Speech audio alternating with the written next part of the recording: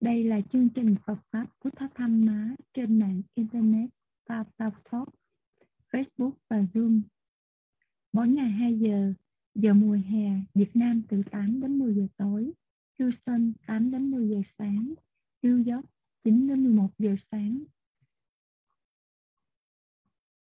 Cali 6 đến 8 giờ sáng, Paris 3 đến 5 giờ chiều, Sydney 11 giờ tối đến 1 giờ sáng.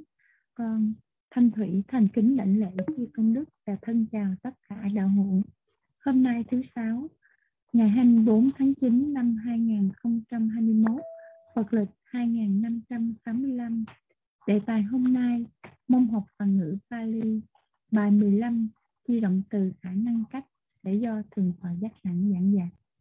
Mở đầu chương trình, xin tất cả chúng ta trang nghiêm tâm nghiệp đảnh lễ tam bảo. Chúng con kính thỉnh thường tọa minh hành tập kinh lễ tam bảo. Nắp mô Phật thai dạ.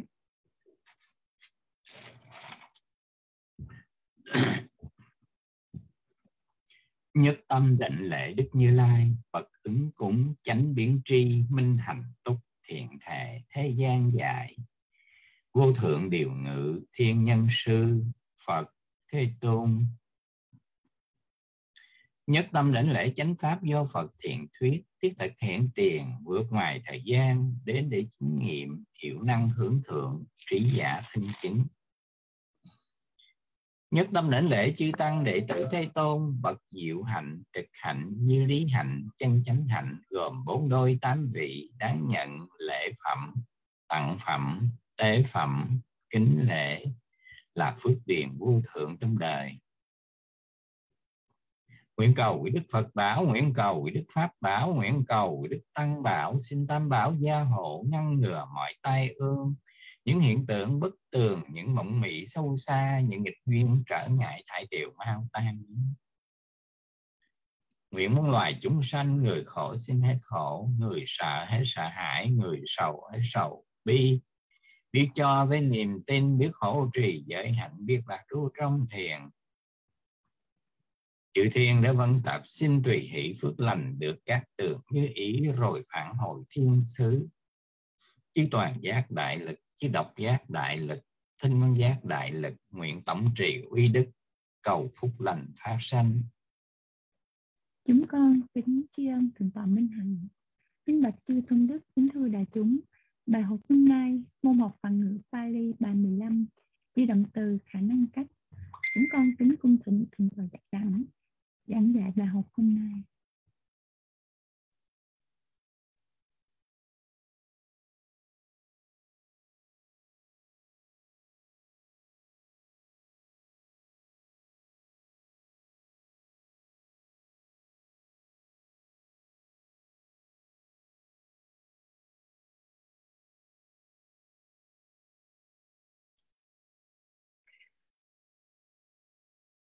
Nam mô Bụt Thầy Giáo. Kính ờ, đại lễ chư tôn đức, thân chào tất cả quý ờ, Phật tử.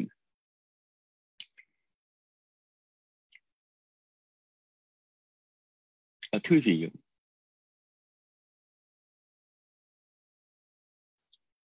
trong uh,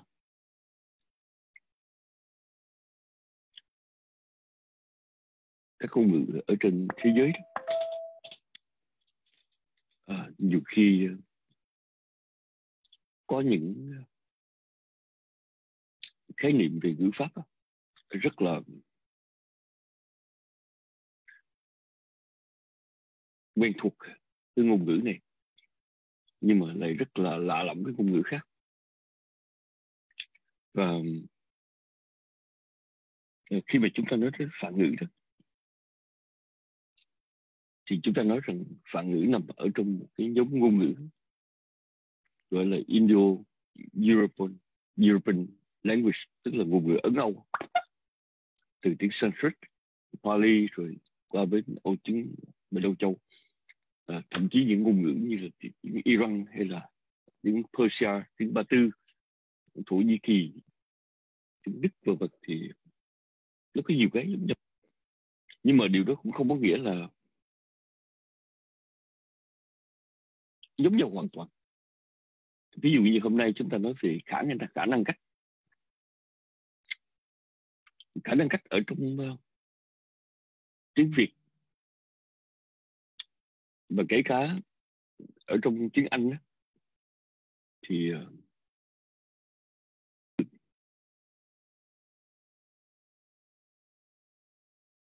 hình thành bằng cái cấu trúc của một cái câu tức là cấu trúc của hành danh và hành văn của ngữ pháp.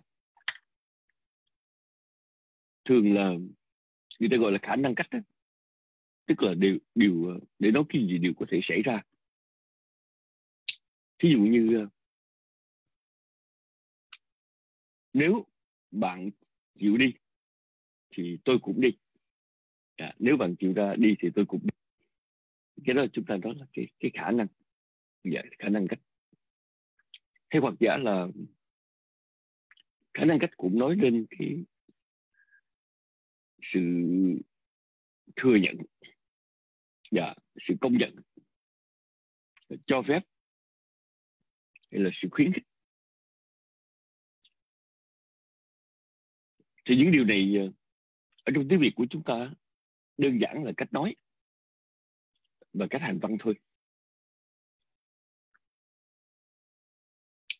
Riêng ở trong ngôn ngữ mà chúng ta gọi là phạm ngữ dù là Sanskrit hay là Pali. Thì thưa quý vị ờ, có một điều thú vị là cái khả năng cách đó, được xài tương đối là nhiều. Và hồi chúng tôi học Pali với ngài ờ, Ananamatri, một vị uh, trưởng lão người Tích Lan ở Los có lần chúng tôi hỏi ngài là sau tiếng trong tiếng bali? Cái kết cấu về ngữ pháp của khả năng cách đó, nó có vẻ chi tiết đó, thì ngài cười. Ngài nói rằng có lẽ là người Ấn Độ đó họ trong văn hóa họ có hai cái là họ rất chú trọng về giả thuyết. Và thứ hai đó là hãy nói những ước muốn. Dạ yeah, ước muốn ở trong uh, anh ngữ thưa quý vị khi mà mình nói lên một cái cái gọi là khả năng cách ước muốn điều gì đó thí dụ như nó là long life the queen là mong cho nữ hoàng được vạn tuế hay được sống lâu long life the queen cái đó cũng là khả năng cách đó. thì uh, chúng ta cũng tìm thấy nó nằm bàn bạc ở trong cái cái gọi là cái cách hành văn nhiều hơn là uh,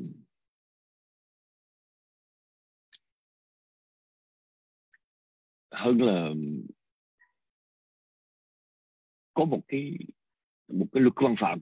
Dạ yeah, một cái luật văn phạm mà về thay đổi cái uh, như là trong phản ngữ. Dạ yeah, trong phản ngữ Pali ở trong tiếng Pali đó thì khả năng cách đó, là một cái cách mà được xài tương đối rất là phổ thông. Người nào mà học tiếng phạn mà học kinh ờ, uh, Bali đó thì sẽ thấy đó đây rất là nhiều những uh, bài học liên quan đến uh, những cái chữ mà liên quan đến khả năng cách thì ờ, khả năng cách tiếng Bali có cái đặc biệt là chúng ta thêm chữ Aya vào giữa cái động từ nguyên mẫu và cái tận cùng chia ngôi như sĩ ví dụ như là uh, bát cha xí là nấu. Nhưng mà nếu nếu anh nấu thì đó là ờ, pachiya xí. Nếu tôi nấu tôi nấu là pacha mí nhưng mà nếu tôi nấu thì là pachiya mí.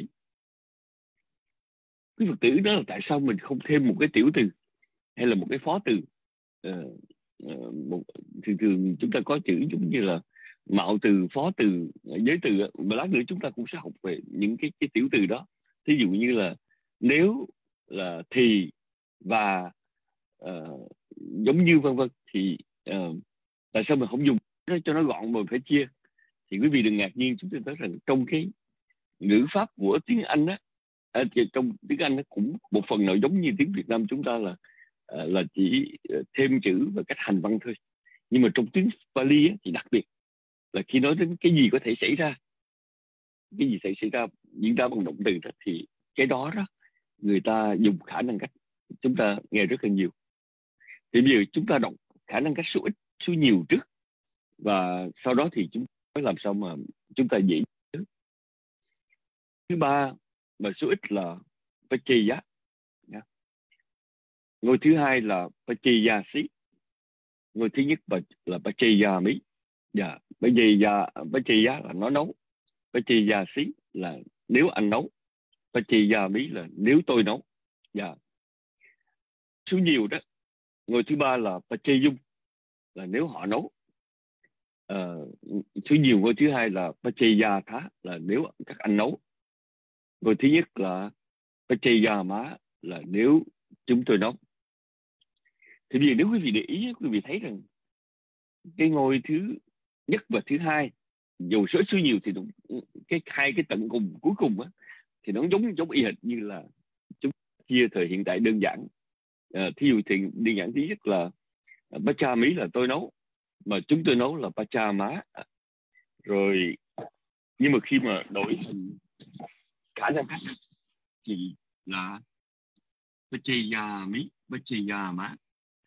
Thì như vậy chúng ta thêm chữ e giá vào. Nha yeah. e giá vào cái cái tận cùng là a mí a má đấy chỉ cho ngôi và chỉ cho số thì giống y ba cha ya mí. Còn uh, ngôi thứ hai đó xí. Pachiyatha dạ ya thá ngôi thứ hai. Như vậy là ngôi thứ nhất và ngôi thứ hai rất giống.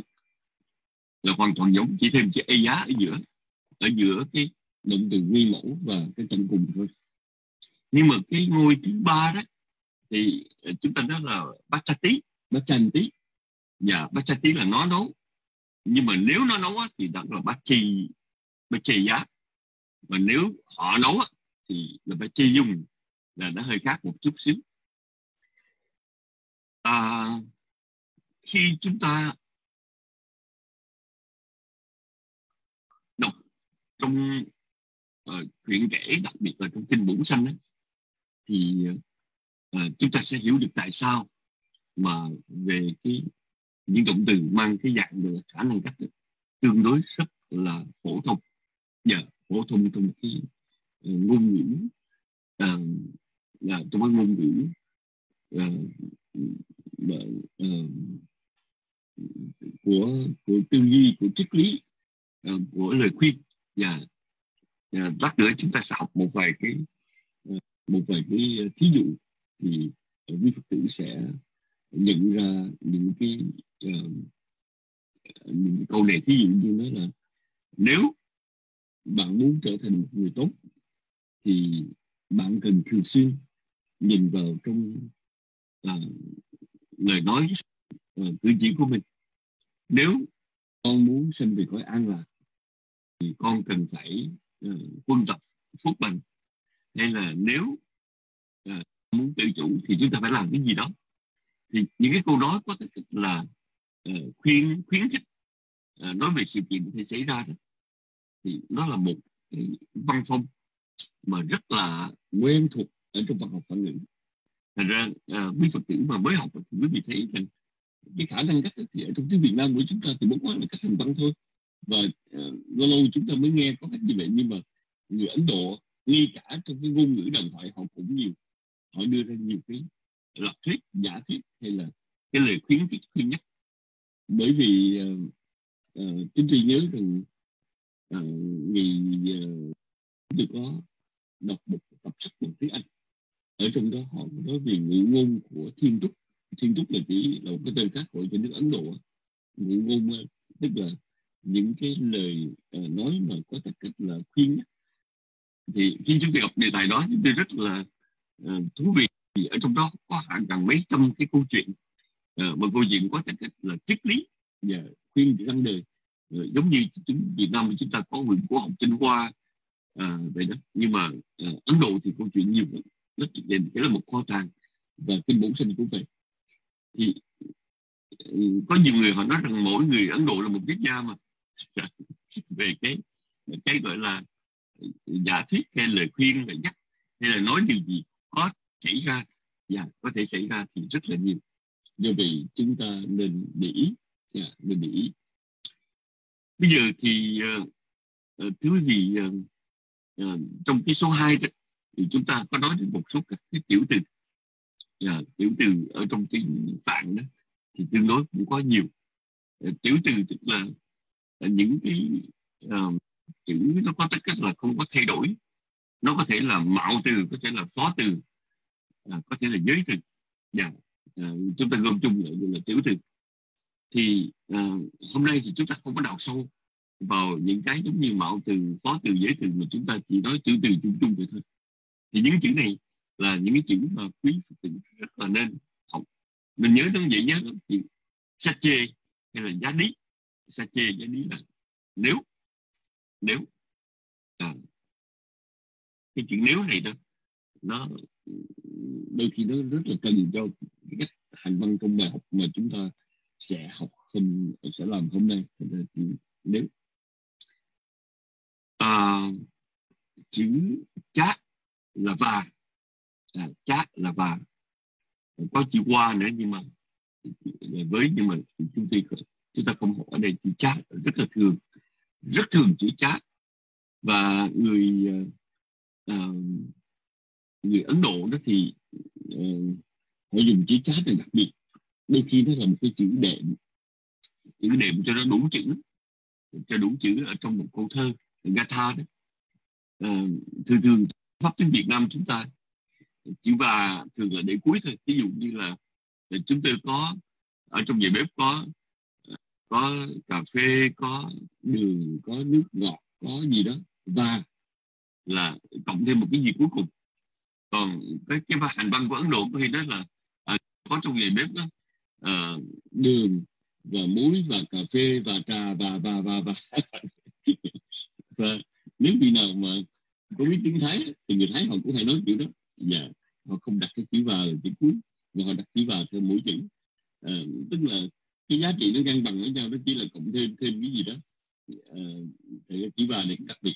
Khi chúng ta học ừ, sâu vào cái thành văn nhất là chúng ta đọc trong kinh thì quý vị sẽ nghe thấy chữ chữ chá và như vậy. Chữ phí là cũng phí là cũng yeah. Dạ, tí phí là cũng à, tôi cũng làm cũng đi hay là cũng có dạ yeah, cũng ná là không. Dạ nó ná là không. À, chúng ta có chữ ma là đừng. Dạ đừng làm cái đó. Còn ná là không không làm. Chữ quý giá là giống như hay là tương tự. Dạ, giá. Ví dụ trong chúng ta học tiếng Anh đó chúng ta có chữ like hay chữ as yeah, dạ, such as. À, hay là like. À, giống như likewise chẳng hạn. Thì à, quý giá uh, quý giá thì nó cũng có cái chữ tương tự là là giống như hay là tương tự như. Bây giờ chúng ta à, học vào vài câu chuyện kiểu mẫu thì chúng ta sẽ thấy rằng những cái tiểu từ ở trên nó nó nó cần thiết nó có lợi như thế nào khi mà chúng ta đặt những cái câu mà nằm ở trong khả năng cách. Sache so phát tăng giá ahang mi à, nếu nó nấu cơm dạ sạch chia số phát tăng giá nấu cơm dạ ahang mi tôi sẽ ăn à, nếu nó sache tuang ichiyasi là nếu bạn muốn dạ nếu bạn muốn ít chắc tí là muốn ichiyasi à là khả năng cách nếu bạn muốn dạ.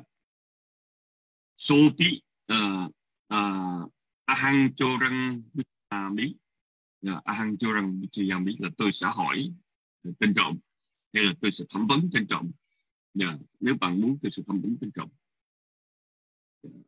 câu số 3 là jadi ahang nagare sobi nagarang agachiya là nếu tôi cư trú ở thành phố thì ông ấy sẽ đến thành phố yeah nếu tôi ở đó thì ông ấy sẽ đến đó. Nếu tôi ở đây thì ông ấy sẽ đến đây. Yeah. cái câu cái câu này nói về cái sự kiện có thể xảy ra. Yeah. Yeah, cũng sẽ đến nếu tôi cư trú thành phố thì nó cũng sẽ đến thành phố. Ví dụ vậy. Thì uh, chúng ta có ba câu thí dụ tiếp theo. Dạ. Ba câu thí dụ tiếp theo là ba câu uh, số nhiều. À, Sachete Patang Pachayung Mã nhân Puchaya Má là nếu được thì chúng tôi sẽ ờ, chúng tôi sẽ ăn. Dạ, nếu họ nấu cơm chúng tôi sẽ ăn. Sachete Tung He già Thá mà dân chua rê chị già Má. Nếu các anh muốn thì chúng tôi sẽ hỏi hay chúng tôi sẽ thẩm vấn những tình trọng dạ.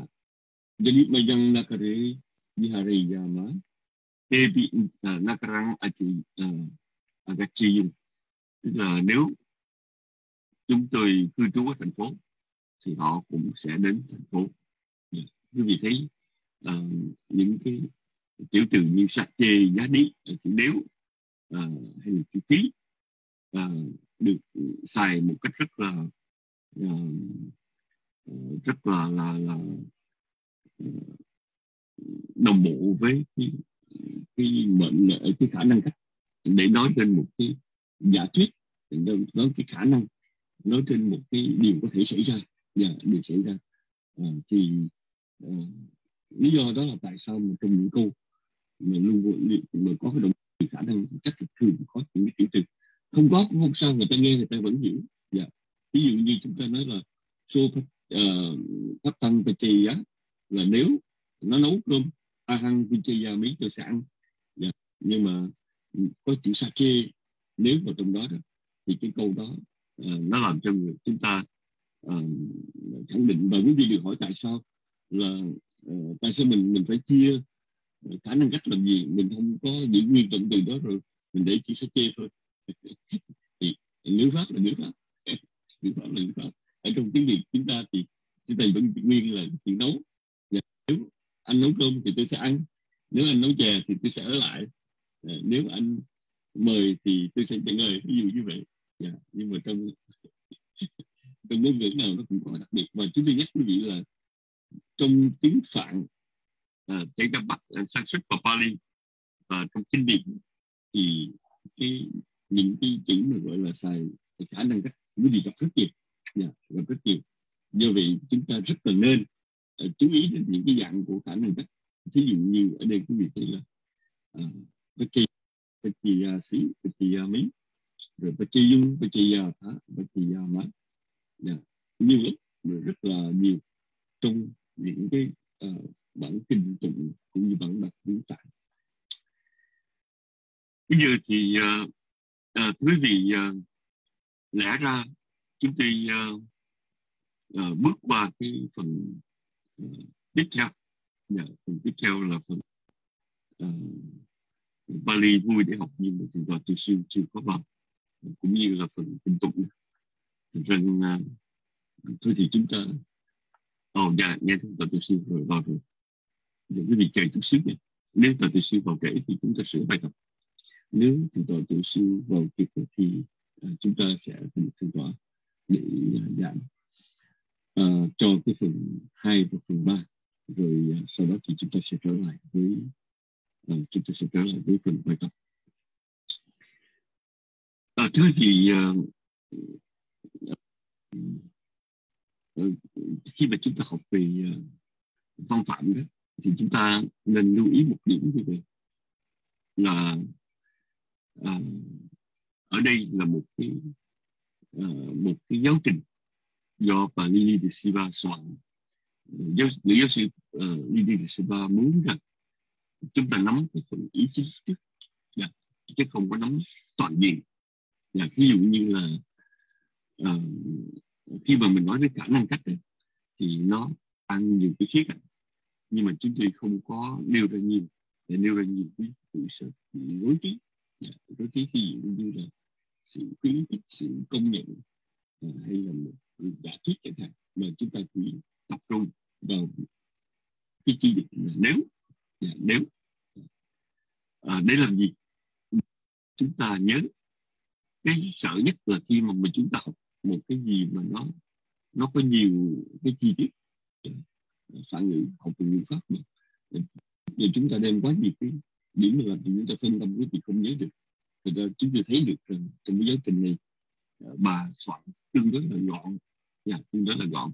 Để mai hậu à, chúng ta thấy được khả năng cách thì chúng ta sẽ hiểu liên tưởng với cái gì mà có thể xảy ra thì chúng ta dịch sang việc là nếu bây giờ thì chúng ta thấy thượng tuệ siêu uh, ờ, đã online rồi. Chắc thì gọi sẽ vào trong giây lát. Thì khi thượng tôi siêu vào thì chúng ta sẽ uh, tính từ tọa uh, bắt đầu trong bài giảng hôm nay. À, về phần Bali vui để học. Và sau đó là một bài hướng dẫn về cấm thiền Phật tích. À, thưa quý vị ờ, bài kinh tụng ngày hôm nay cũng là bài kinh tụng mà ờ, quý vị nghe chư tăng tụng nghe như từ độ minh hạnh tụng mỗi ngày à, ở trong ờ, và xin quý vị thấy cái thực tọa từ siêu vào chúng tôi chưa thấy chúng tôi chưa thấy đức thực tọa xuất hiện trong kinh quý vị có thấy không? Dạ chưa. Chưa vâng. um, học sinh tụng thì chúng tôi cũng theo một cách mà giống như cái giáo trình Bali này. Tức là chúng ta không học nguyên một bài kinh dài mà chúng ta học một số các cái câu kinh tương đối rất ngắn. Ngắn như vậy chúng ta không có ngại để học thuộc lòng. Ví dụ như chúng ta thấy ý đăng vô nhát thì đăng vô cũng sự ta hồi vô là một cái uh, câu kinh để hồi hướng cho thân nhân quá vãng. Những cái câu ngắn đó mà nếu quý vị thật sự rất là muốn học học rất là dễ và cũng bây giờ vẫn cứ sử dụng trong cái uh, nghi thức hàng ngày chúng ta cũng chọn chúng ta tụng một bài thì uh, sau đó từ những bài kinh ngắn quý vị có thể cảm hứng học tới bài kinh dài rất là tốt. Bây giờ thấy thượng tọa thì vào rồi. À, bên sư tự sư thượng tọa có muốn à, quý phật tử đọc cho cái phần Bali vui để học thức. À, đọc xong rồi thì tọa giảng hay là thì tọa giảng trực tiếp thì tọa gì cho mình xin hỏi tọa tự sư biết thượng tọa muốn có muốn quý phật tử đọc bài trước khi giảng không? Hay là thượng tọa chỉ giảng trực tiếp thôi? Dạ dạ kính xin để sớm quá dạ bữa nay học sớm xin lỗi sư huynh. Sư huynh bây giờ sư huynh có muốn uh, bây giờ sư huynh có muốn uh, uh, có muốn quý vị là đọc để giảng sư, sư để giảng giảng văn phạm xong hả? Dạ xong rồi sư huynh. Dạ xong rồi. Giảng sớm. Dạ. Dạ. Nên bị giảng sớm quá sớm quá. Dạ. Vậy vậy có cần mình mình có cần đọc bài đó không? Dạ không nếu sư huynh muốn đọc một bài thì chút xíu thì sư huynh mới vào đó. Để nghe họ đọc chút xíu rồi sư dạ, huynh dạ, dạ. dạ dạ. dạ dạ dạ, dạ, được. chút xíu đi. Dạ. Có Dạ, có dạ. phật tử nào Dạ. ờ, đọc dùm dần mời của thanh thủy quan thị đọc dùm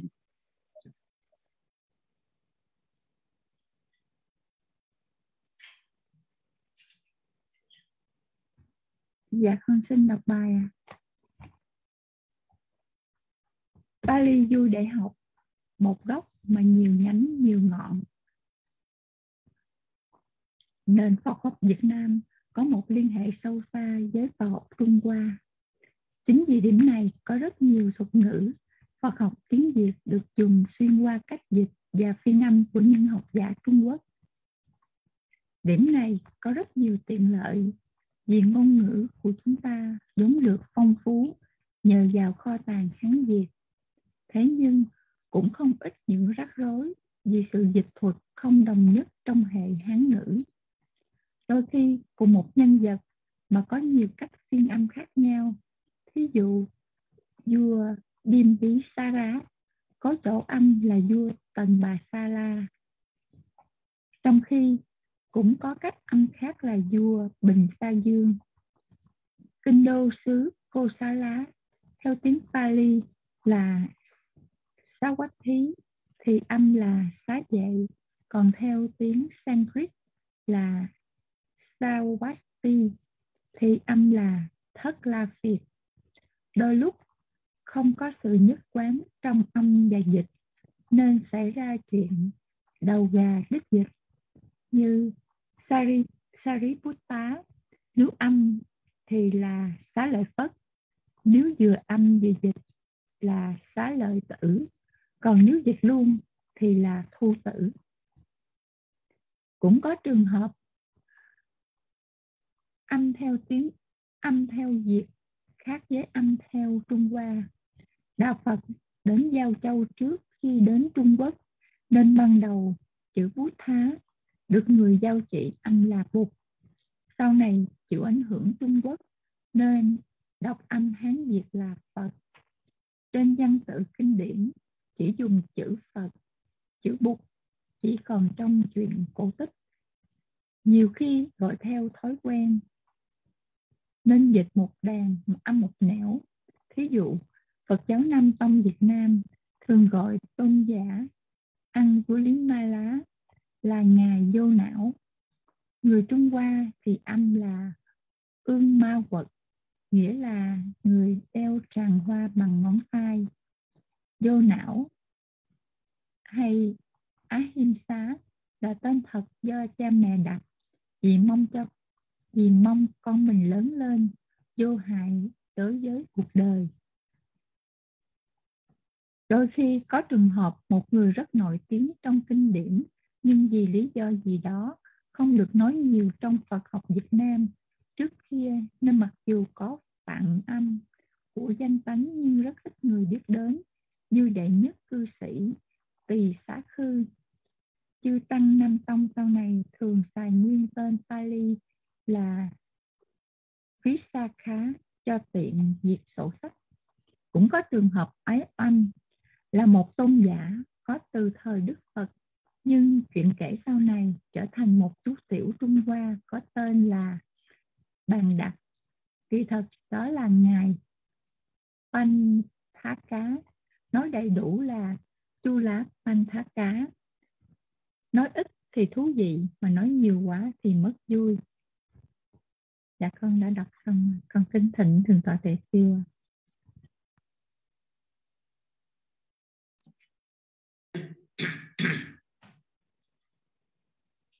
Nam mô Bụt Thầy. Kính lễ tam bảo Đức Phật giáo pháp và tăng chúng. Kính thưa quý vị, hôm nay chúng tôi canh giờ chúng tôi bị thất bại.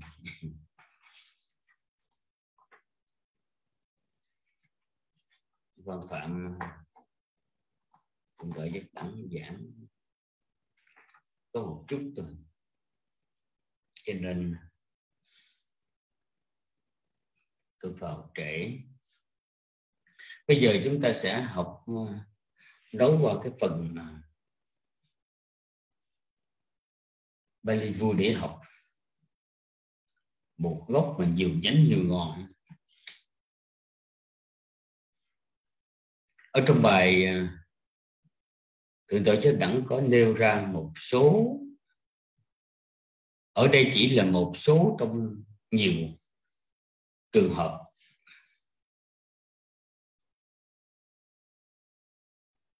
Mà thực tế là khi mà chúng tôi đang soạn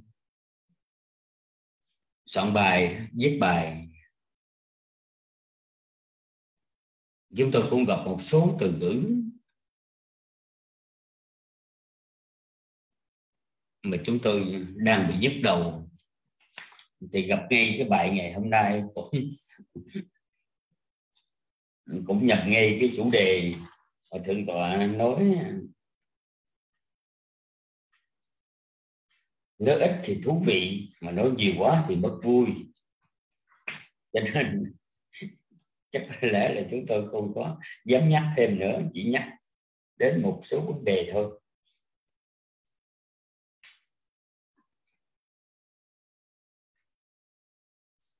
Ở đây thưa quý vị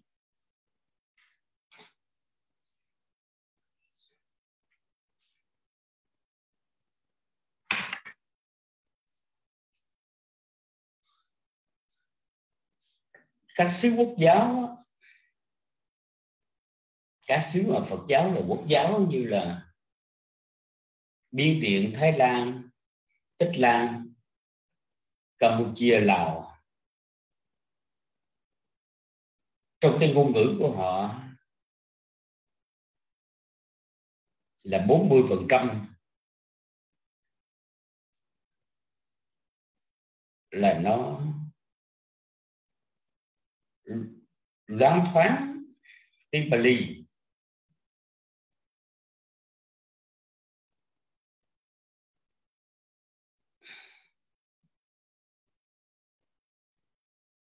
do đó cho nên khi mà sử dụng cái quốc ngữ của họ để mà dịch kinh điển thì những cái tên thí dụ như uh, Devadatta ở trong người Khmer người ta đọc là Tewatat Tewatat là, là Devadatta. Hay là Devata tức là Devata là chư thiên thì họ cũng xài như vậy.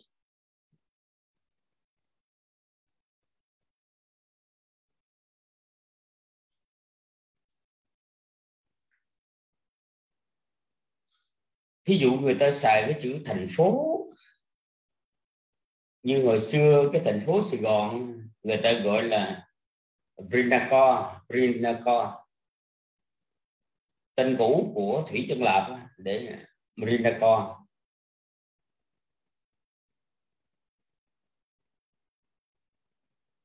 chữ Nacor đó là chữ Nakara người Khmer họ không có đọc chữ gá mà người ta đọc chữ cô cô cá cá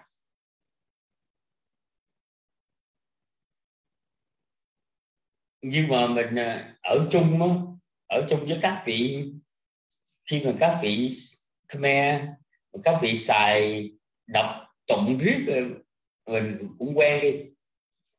Cho nên nghe cũng dễ. Và khi mà đi qua thái đó, gặp những trường hợp à, người ta đọc a hãn là thức ăn tức là ahara đó. Hay là đi diễu phật đó. trong chùa đi diễu phật.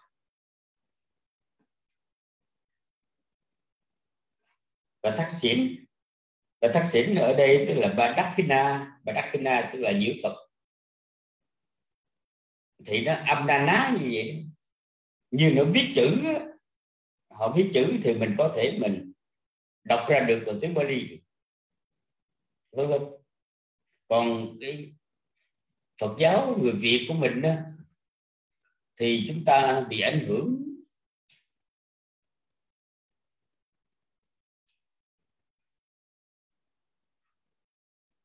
cái thuật ngữ Phật học do tàu dịch hoặc là tào âm.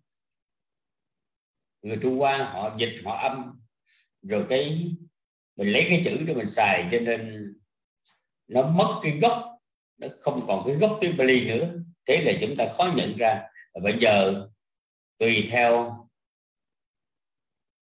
cái thời kỳ mà xài, họ âm như thế này, họ dịch như thế kia,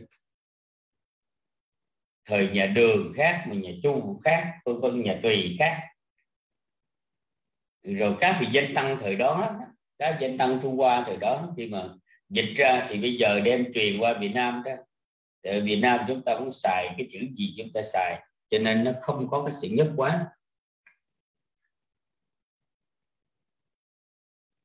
Như cái chữ đầu tiên mà ở đây, cái chữ đức vua Bimbisara có chỗ thì âm là vua tần bà Sala tần bà Sala là âm bốn chữ luôn. Bimbisara nhưng mà cũng có cách âm khác là bình sa vương. Chữ bình sa là nó à, tóm tắt chữ bimbisara chữ bimbi người ta âm gọn lại là chữ bình Sarat người ta đọc là dễ xa thôi. Thật ra khi mà âm cái chữ đó, chúng ta đoán không có ra. Cũng như cái chữ ờ, bồ tát đó, thưa quý vị. Thật ra chữ Bodhisattva, nếu mà âm tắt hai chữ là chữ Bồ Tát ờ, là chúng ta dịch không có ra nghĩa. Cho nên người ta âm âm đủ là ta phải âm bốn chữ. Là bồ đề bồ thí. Tác đỏa là là sát tác bồ đề tác đỏa thật ra người ta lấy bồ đề ta lấy chữ bồ thôi, còn chữ tác đỏa người ta chỉ lấy chữ tác thôi, thành chữ bồ tát. Thật ra có khi âm là bồ đề tác quả, có khi âm là bồ tát.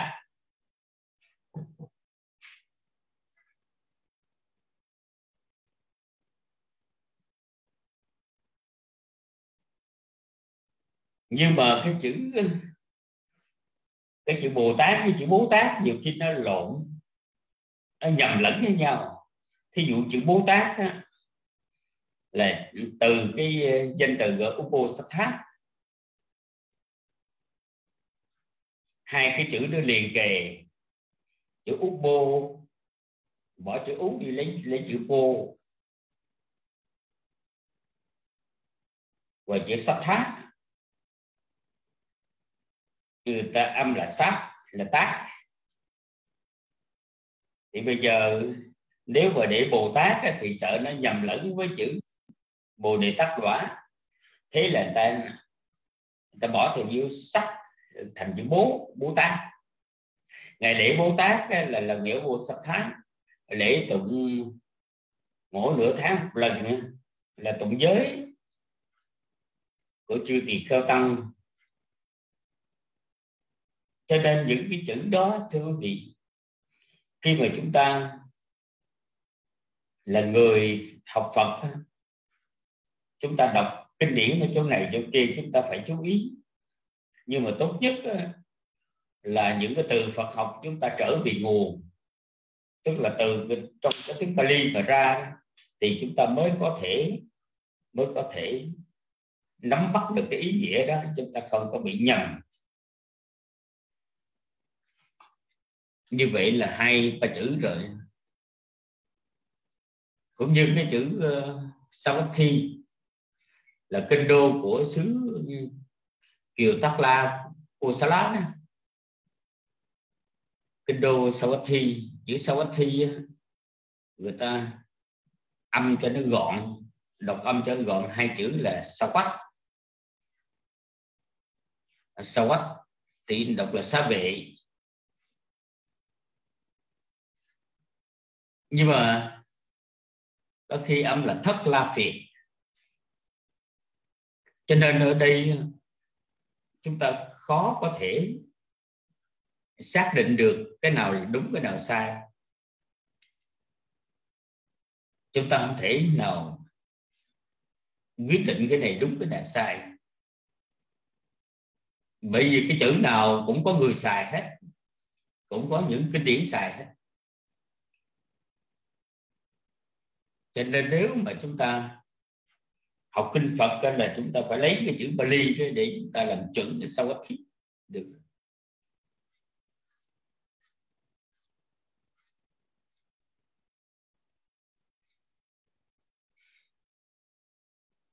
Ở trong này có cái chữ, một chữ nữa là chữ Sariputta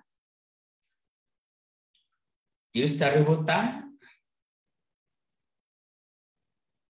người ta đọc âm là sa lợi phất.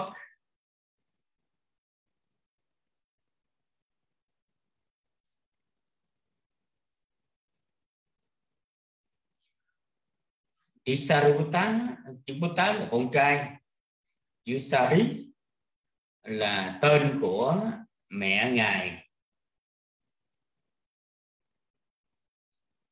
Bà Sari nữ bà la môn nổi tiếng nhất ở trong cái cái làng Nalanda giàu có.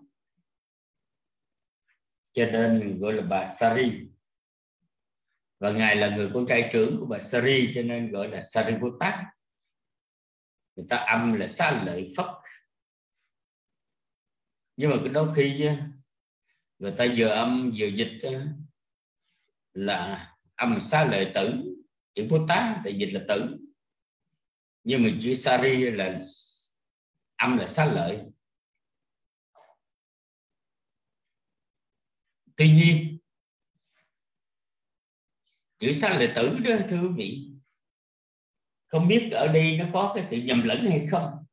Ở khi mình coi phim tàu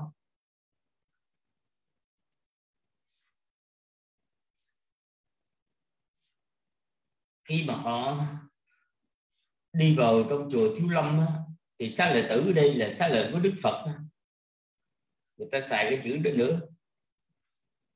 Cho nên cái này chúng ta mới biết là như người ta nói đa ngôn thì loạn ngữ, đa chữ, loạn thần kinh là gì? Lung tung. Chúng ta không biết được. Nhưng mà chữ Sariputta, nếu mà dịch luôn là thu tử. Như chữ thu tử thì ít có ai sử dụng lắm, thưa quý vị. Sa là tử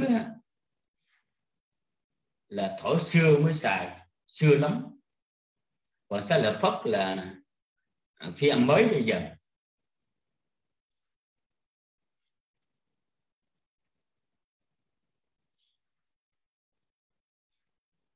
Mặc dù biết nó là cái từ tục đế, nhưng mà cái gì chế định vừa phải thôi, chứ chế định nhiều quá thì chúng ta cũng điên đầu lắm.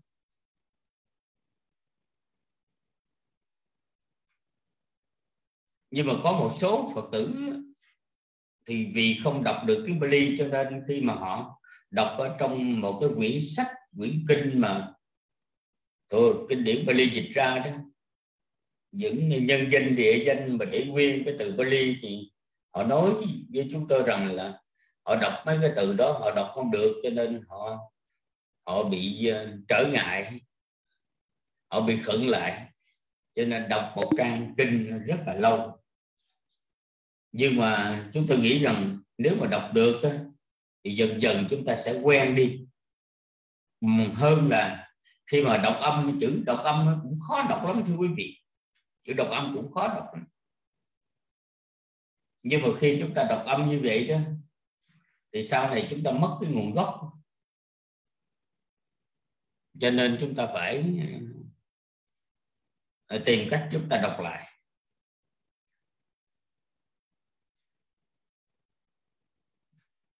Bàn về à, một gốc nó có nhiều ngọn đó.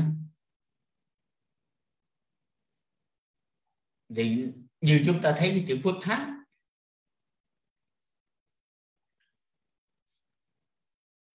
chữ phước thát đúng ra đó, âm cho đủ là phải là chữ phật đà. Chữ phật đà.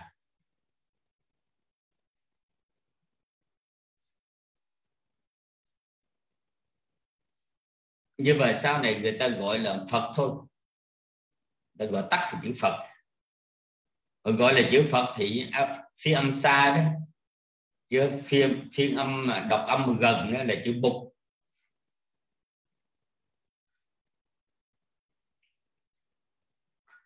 Nhưng mà bây giờ thì chúng ta không không xài cái chữ mục ở trong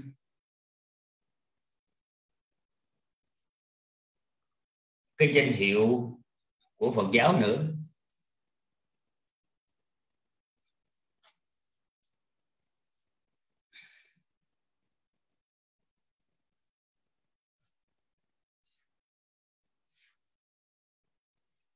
Mà bây giờ chứng bục thì chúng ta nghe còn ở trong cái chuyện cổ tích.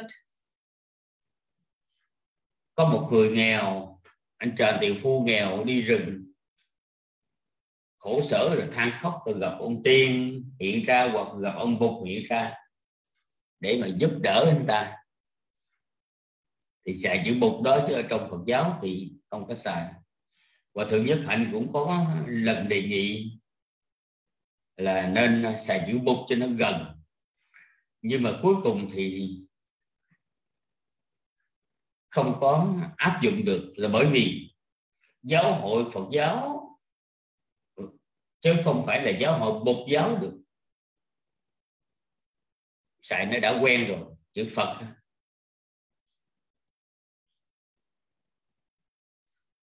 Rồi như cái chữ cái câu mà cô niệm phật nam mô bổn tát, giá nam mô tham ma giá nam mô sang thà giá. Thì tàu âm nam mô bổn tát, giá. Người ta đọc là nam mô phật đại gia người ta đọc luôn người ta âm luôn năm chữ, nam mô phật đại gia. Nhưng mà đọc riết, họ chắc hình như họ đọc, họ mỗi miệng họ niệm phật. Nam mô phật đại gia, nam mô phật đại gia, riết cái họ bỏ cái chữ chữ nam mô, họ lấy chữ mô thôi. Còn chữ phật đại gia phút tha giá phút tha giá phật đại gia, thì họ lấy chữ phật thôi. Thành ra cứ gặp nhau là mô phật mô phật mô phật. Ngộ lắm quý vị cho nên chúng ta là người phật tử mà nghiêm túc đó, thì chúng ta đọc cho nó đúng. Còn phật còn những người họ không nghiêm túc hoặc là họ không hiểu gì thì nghe ai nói sao thì họ cũng nói vậy. Mà ai đọc bậy thì họ cũng đọc theo vậy thôi chứ họ không có hiểu cái nguồn gốc của nó là cái gì. Mô phật mô pháp mô tăng. Thì đây phải là nam mô phật đà gia nam mô đạt ma gia nam mô tăng về gia. Bây giờ người ta đọc tắt là mô phật, mô pháp, mô tăng được rồi. Cho nên cái chữ đó chúng ta cũng tùy. Nói thì nghe vậy thôi chứ. Nói nghe cho nó vui vậy, nhưng mà khi chúng ta dịch đó, chúng ta muốn dịch nghĩa, thì chữ mô phật chúng ta dịch không được mà người mà nói tiếng mô phật đó, hỏi họ nghĩa gì họ cũng ngơ ngác, họ không hiểu vậy. Còn khi mà chúng ta học tới nơi tới chốn đó,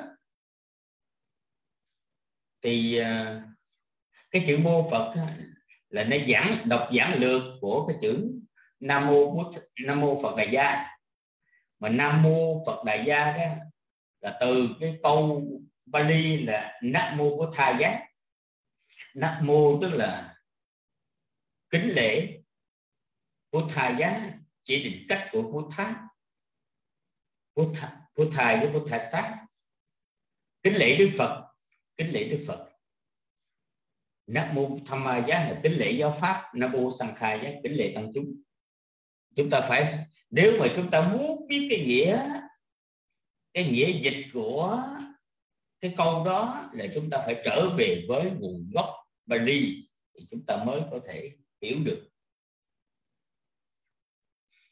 Bây giờ lại tiếp tục qua một cái chữ khác.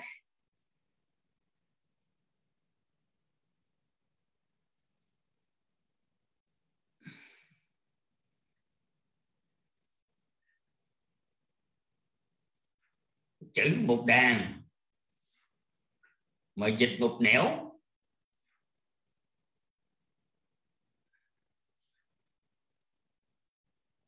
Mà âm thì cái ngã khác nữa. Chẳng hạn như chữ Angulimala chữ Angulimala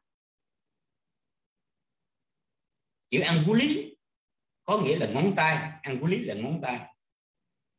Chữ Mala là cái vòng qua mà cái người đeo vòng qua thì gọi là Mala xài cái năm tánh sư quý vị chuyển lại.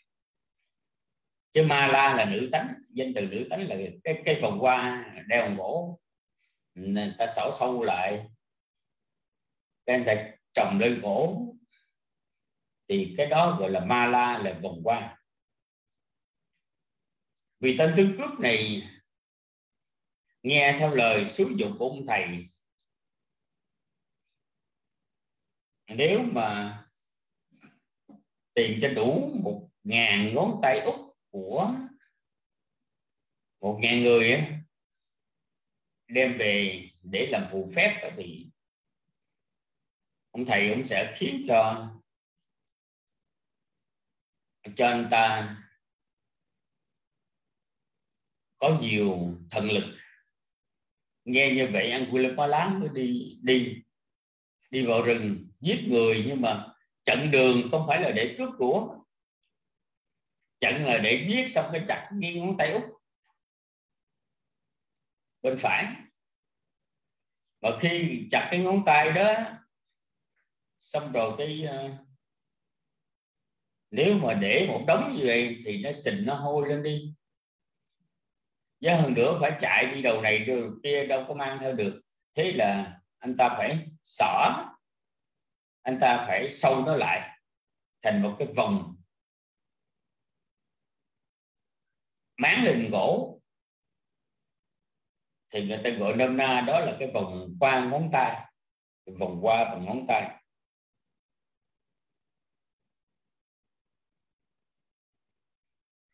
Mà cái chữ Angulimala đó thì khi mà nói tiếng Việt đó, thì người ta lại là nói ngày vô não hay tứ cái vô não. Nếu mà người có học Bali thì mới nói tứ cướp Angulimala. Còn không người Phật tử Việt mà họ không có rành tiếng Bali thì họ nói tiếng cướp vô não trong khi đó thì người Tàu họ âm ương ma quật thì quý vị thấy chữ ương ma quật mà âm của chữ Ankulit Ba Lá đó thì uh, phải nói là nó nó xa nó xa cả mấy trăm cây số rồi.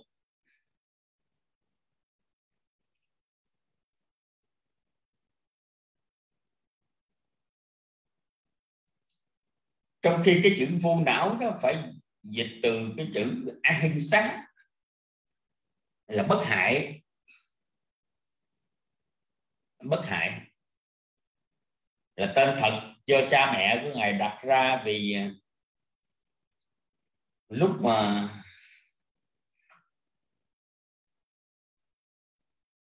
đứa bé sắp sinh ra thì cái kho vũ khí của vua Ba nó đi. Nó sáng rực lên và nó khua thì các vị ờ, đại thần họ đoán tìm thì họ nói rằng hôm nay đứa bé nào sinh trong trong thành ngày hôm nay đó, đứa bé tướng tướng lớn lên nó sẽ là một kẻ hung tàn hại rất nhiều người. Thì trong đó có quan đại thần của vua là bà la môn.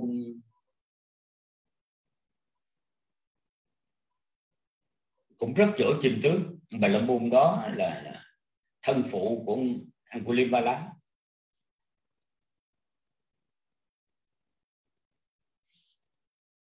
muốn giết đứa bé nhưng mà ông vua ông cản. Bà mẹ cũng khóc lóc. Cho nên để đứa bé sinh ra nhưng mà sinh ra thì hai bà mới đặt tên nó ahimsa để nhắc nhở sau này lớn lên là bất hại nghĩa là đừng có đừng có làm hại ai hết, nhắc nhở gì. Nhưng mà tên thì tên. Nhưng mà đến trường làm hại vẫn làm hại như thường. Cho nên ở đây đó, nội cái từ ăn quý ba lá không mà chữ đó dịch chữ đó là ừ, chữ một đường, mà dịch một nẻo. Một phiên âm thì nó lại một cái ngã rẽ khác.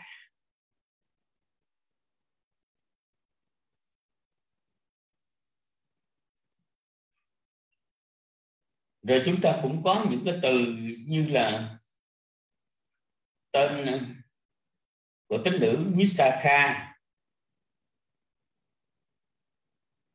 chữ Visakha là nữ tánh. Nếu mà tên của nữ cư sĩ thì Visakha. Ừ. còn nếu mà tên của một thị nam mà là chồng cũ của nàng tỳ kheo ni Thammadina đó, thì gọi là quý xà khác, quý xà khác. Đoán âm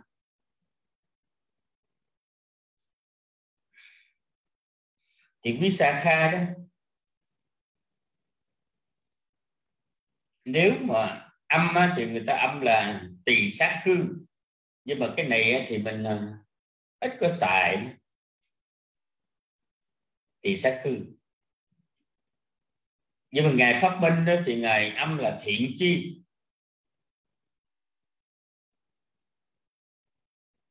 Ngài âm là thiện chi. Chữ quý sa kha chữ sa kha tức là cái nhánh cái nhánh cây ấy, thưa quý vị.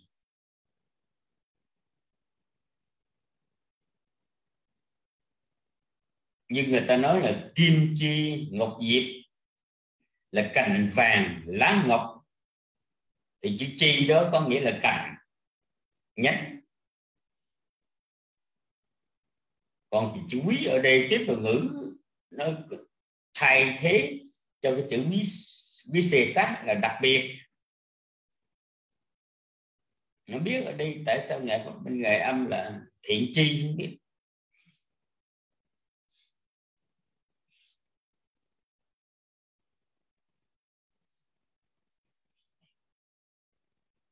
Cái chữ đó thì à, cũng không có gì.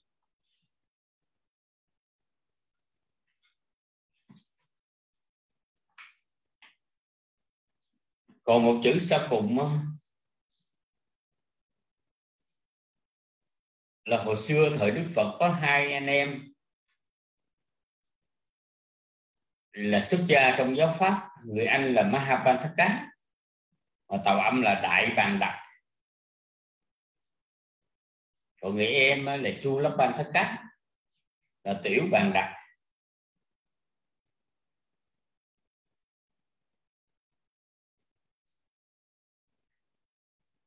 cả hai anh em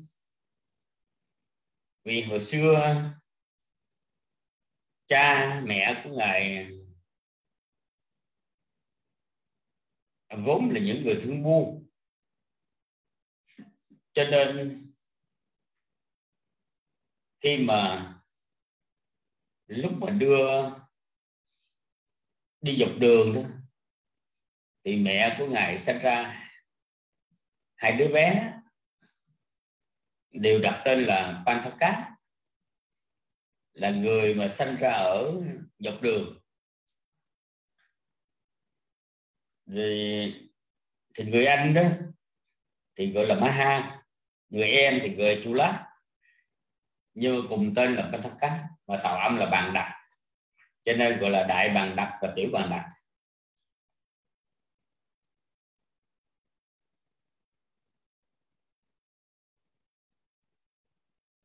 Chulapathakat là một người tấu giả. nội chúng ta nghe âm cái chữ chữ bằng đặc á, chúng ta liên tưởng đến là cái cái đầu đặc sệt không không có thông minh không có thông minh ngày xuất gia rồi hiền thì có hiền nhưng mà ngài rất là tấu dạ học một bài kệ mà suốt 3 tháng không có thuộc bài kệ bốn câu thưa quý vị. Còn người anh á, Mahabhathaka thì ngài xuất gia chẳng bao lâu ngài đã chứng ở quả la hán rồi.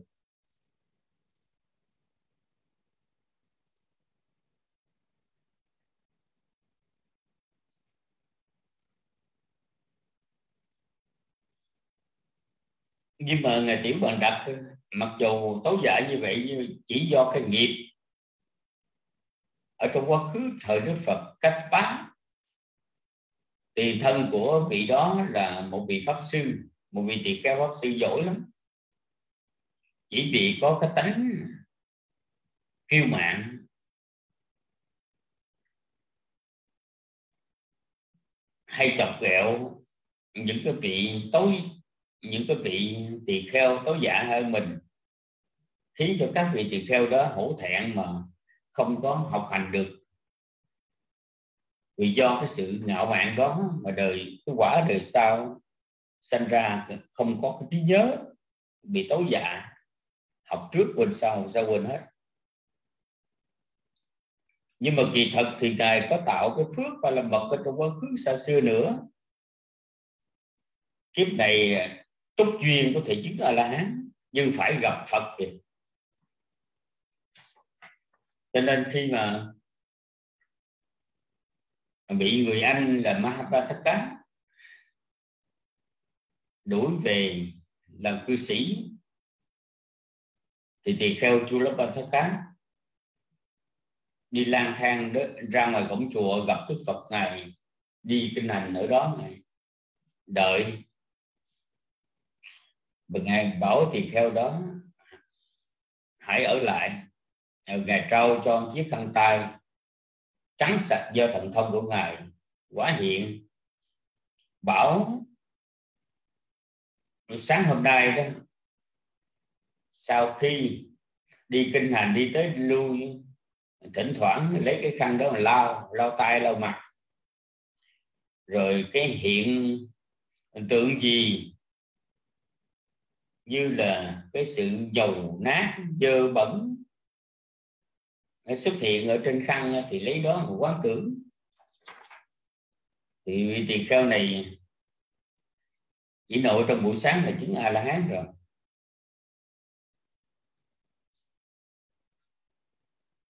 Đó là chu lớp bên thất cá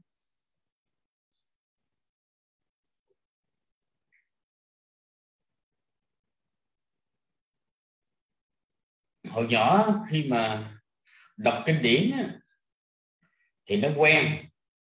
Cho nên quen bây giờ nhiều khi cũng khó sửa hoặc là có đôi khi nó quen miệng thì chúng tôi phải đọc là chúng tôi nói ngày mùng liên hay là ngày sát Lập phất.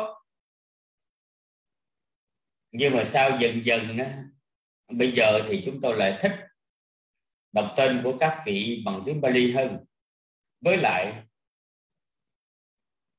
nếu mà để gọi là đọc âm, hết tên của các vị thánh tăng vào thời đức phật, thì thưa quý vị, đọc không hết rồi có một số tên mà chúng ta phải đọc, chúng ta phải đọc thẳng vào tiếng Bali. Chứ chúng ta đâu có đâu có biết đọc hết cái tiếng phi âm. Cho nên có những cái chữ đọc âm, có những cái chữ mình đọc tiếng phạn, tiếng Bali thì như vậy nó lỗi chỗ lắm. Cho nên bây giờ nếu được thì chúng ta thống nhất là chúng ta cứ đọc nhân danh, địa danh bằng cái tiếng Bali hết đi thì như vậy nó sẽ khỏi có phải rắc rối, nó phải lộn xộn với hơn nữa. Cái tên của người ta mà để nguyên mình đọc như vậy, nó phải khác hơn là chúng ta đem chúng ta phiên âm ra. Bởi vì cái chữ phiên âm có nhiều chữ xấu lắm, thưa quý vị. Nó không phải xấu, tục tiểu gì nhưng mà điều xấu, cái là nghe nó là lạ. Thế là chúng ta lấy cái chữ phiên âm đó mà chúng ta đọc cho gắn tên cho một vị thánh tăng thì nghe nó cũng ừ, vô phép lắm. Cho nên ờ, chúng tôi thấy rằng là chúng ta chỉ đọc quy văn để mà lì ráng mà đọc.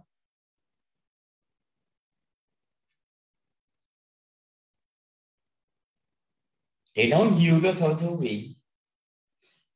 Nói ít như vậy thì nó thú vị nhưng mà nếu nói nói dài quá, nói hết giờ thì nó mất vui. Chúng ta còn cái thời gian để làm bài tập nữa, nó vui hơn.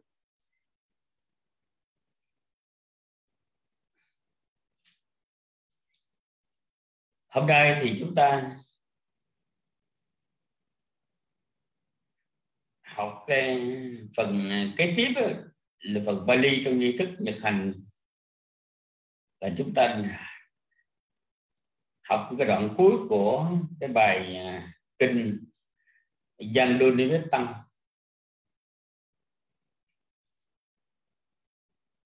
Tổng hợp, cái bài tổng hợp của của kinh Parita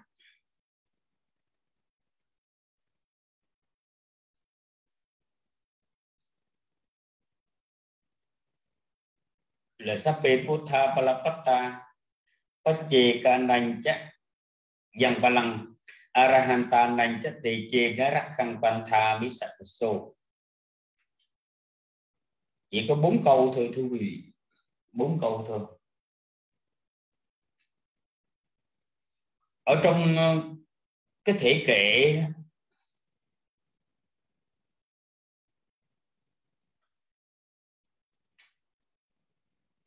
thì cái nguyên tắc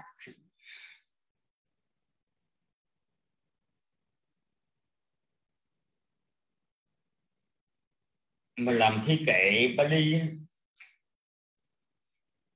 hay là bất cứ ở cái loại ngôn ngữ nào trong tiếng Việt của chúng ta, nhiều khi trong cái thi kệ đó, thơ lục bát hay là sông thất lục bát hay là à, tất công bát cú được chẳng hạn. Làm sao mà phải nói gói gọn ở trong cái số chữ đó? Nhưng mà trình bày cái ý nghĩa cô động. Cho nên cái khó là khó chỗ đó. Nhưng mà gặp rồi tiếng Bali thì cô động thành một bài kệ. Chúng ta cũng khó khó dịch nghĩa nếu mà chúng ta mới có học chúng ta mới có học uh, Bali tới cái bài số 15 này là chúng ta không có dịch kệ được.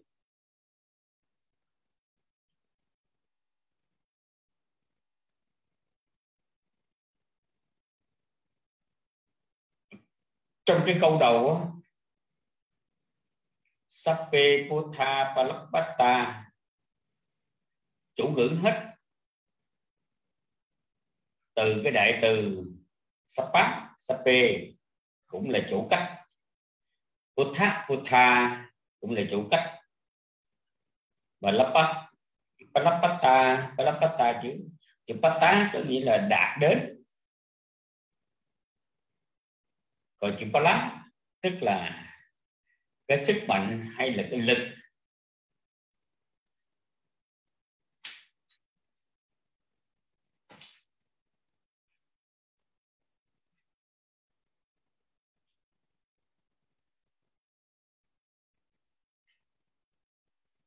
trong cái câu này, sách của hòa thượng tông thì ngài à, dịch sape buddha palapata ngài dịch là tất cả. Đức chánh biến tri đều duy trì quyền lực. Nói như vậy người ta hiểu lầm đó. Người ta hiểu lầm. Bởi vì chỉ có những cái hạng vua quan ở bên ngoài xã hội đó là họ mới củng cố cái quyền lực của họ. Còn ở đây thì chúng ta không thể nào mà chúng ta nói nữa tất cả đức chánh liên tri đều duy trì quyền lực. Không thể không thể nữa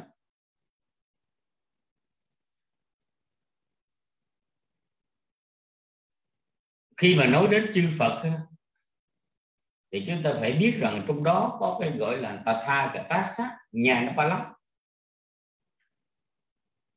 Tức là cái à, trí lực trí lực của Đức Như Lai, của các đấng Như Lai 10 cái trí lực của Đấng Như Lai, hay là 10 Như Lai lực.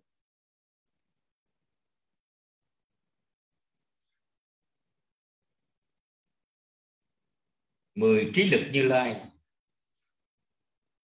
rồi Palapata là chúng ta nói tắt. Chứ không thể nhà nó Pala câu thứ hai thì cũng nói đến cái chữ ba lăng tức là cái lực, tức là cái sức mạnh của nội tâm đó. Nhưng mà vì để thêm để thêm cái âm tiết cho nó đủ. Cho nên người ta thêm cái chữ ờ, chát và chữ văn.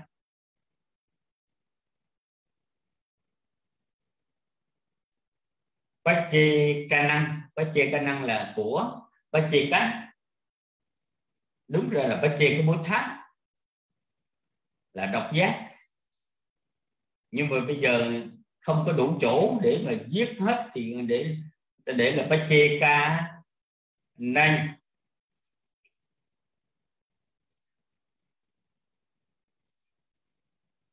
Đọc chữ Pacheka là chúng ta nên hiểu ở đây là là đọc giác bách chê của bồ tát. Chứ còn nếu mà chữ Pacheka không đó, thì cái chữ này nó chỉ có nghĩa là đơn độc.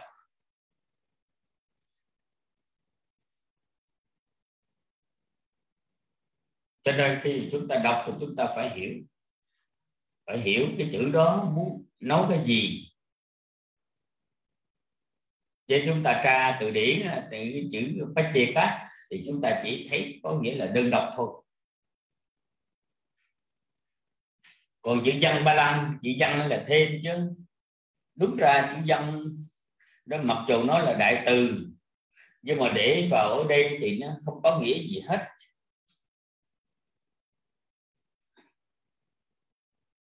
Tại vì nếu như mà để đó thí dụ như bác chê các tha, năng văn và năng, tăng, rắc khăn quan tham ít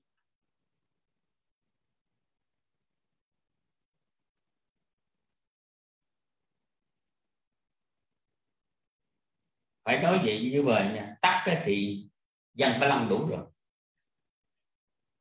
câu thứ ba, arahanta nan cũng là xài sở thuộc cách số nhiều. Nhưng mà thêm cái chữ tê chê đó, không lẽ xài chỉ văn ba lăng nữa? Còn nếu như mà xài chữ tê chô chỉ có hai từ thôi. Cho nên phải chia cách thứ ba là tê chê nó tê chê nó cho nên ở đây đó, khi mà chúng ta dịch kệ Bali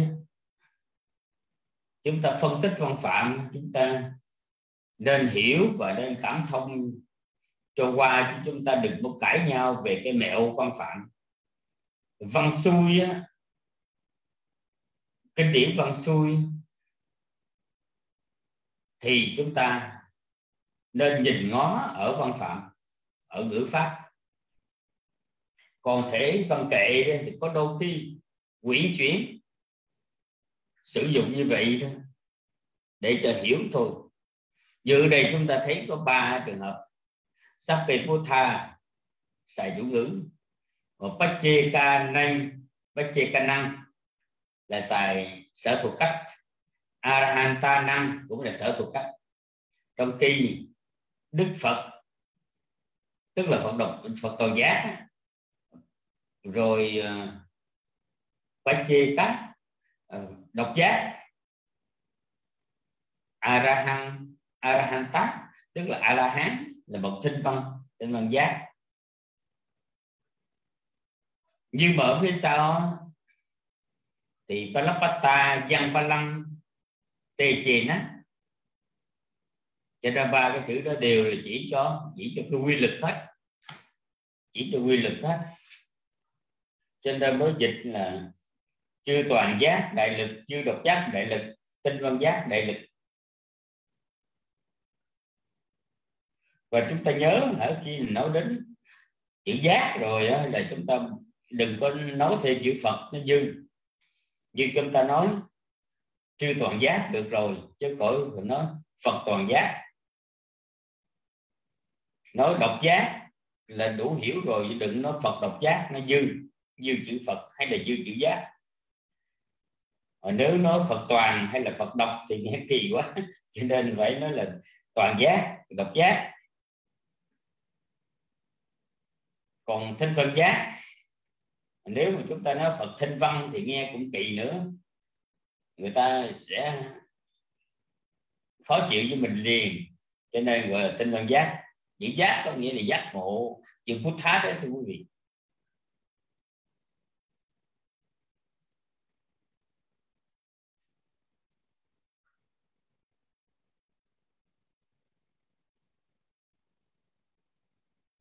Ở đây chữ ờ, rắc khăn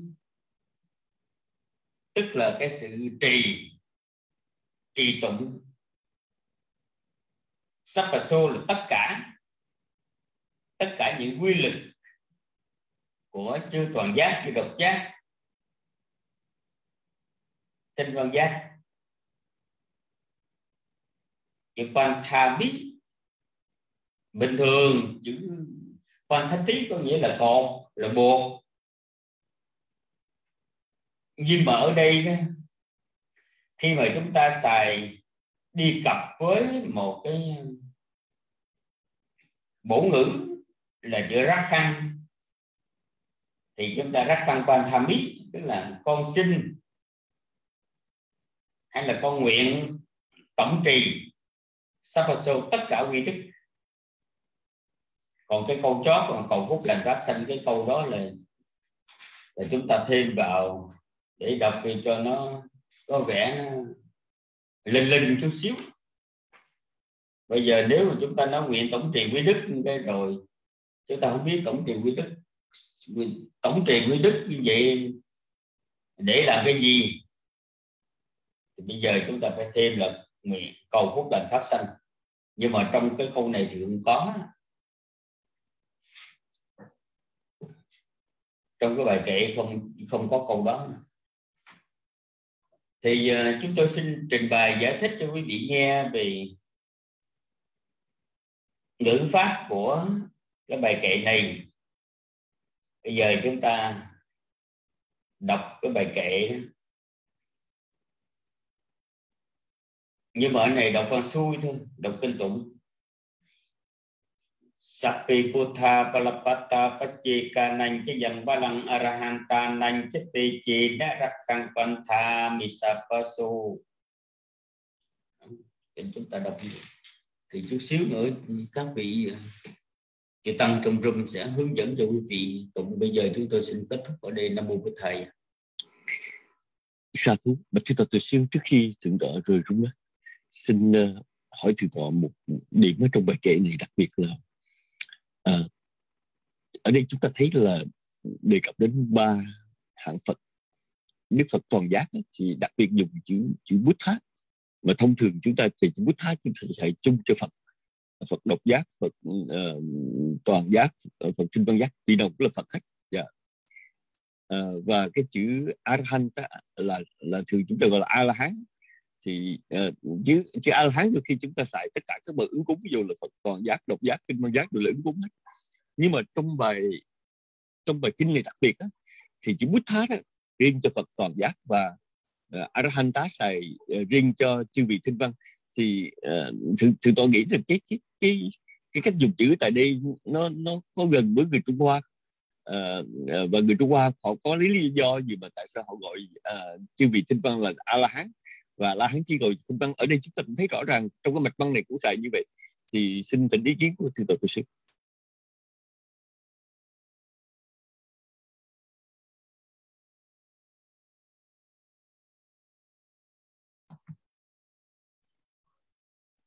À, kính bạch chư tân kính thưa quý vị. Quả thật đúng như uh, lời thượng tọa giáo đạo thì lẽ ra đó cái chữ phút thái là chúng ta xài chung cho cả cho cả ba ba hạng. Đối với chữ ờ, uh, phút thái mà chỉ cho đức phật toàn giác á, để cho chỉ cho bậc toàn giác thì ở đây phải là sapanyu puttha sapanyu puttha là toàn giác. Pache cái puttha là độc giác. Savakaputta là thinh vân giác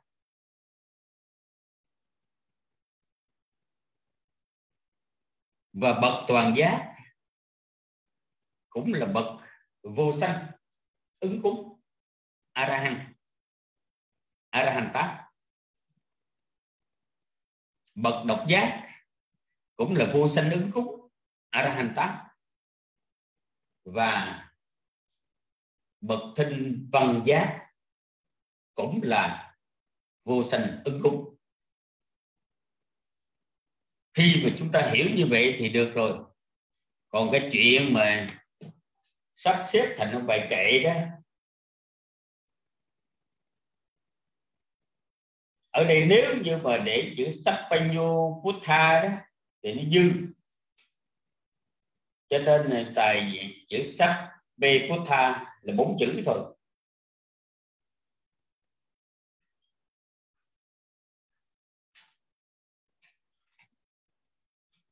Các vị ờ, khi mà học cái này, các vị chú ý cái bài kệ của chúng ta như thế này nha. Xài tám chữ, chúng tôi nói, nhưng mà chúng tôi kệ hoài thì nghe nó. Chúng tôi kệ hôm nay, quý vị nghe xong quý vị tối nằm trên bao mệt lắm nhưng mà Sape Putha Palapata Pacheka Nanh Chayang Palang Arahanta Nanh Chate tha mi Pantha Misat Paso. Quý vị thấy, nếu mà để câu tám chữ tám chữ đó, thì chúng ta mới kệ được. Nhưng còn nếu mà lỗi chỗ Sapanyu tha và Lapata về Sapanyu Buddha đó thì chúng ta dừng chữ. Còn ở dưới đó, câu 2 đó có chê các Buddha năng chắc dằn ba lăng thì nó thành văn xuôi chứ không thành văn kệ nữa. Còn nếu ở dưới để sao các Buddha năng thì nó dư nhiều quá. Mà bây giờ nếu để sa quá ca năng sao ca năng chắc tê chê ná thì thiếu chữ? Cho nên, á rát han ta năng chắc tê chê ná. Thì nó đủ.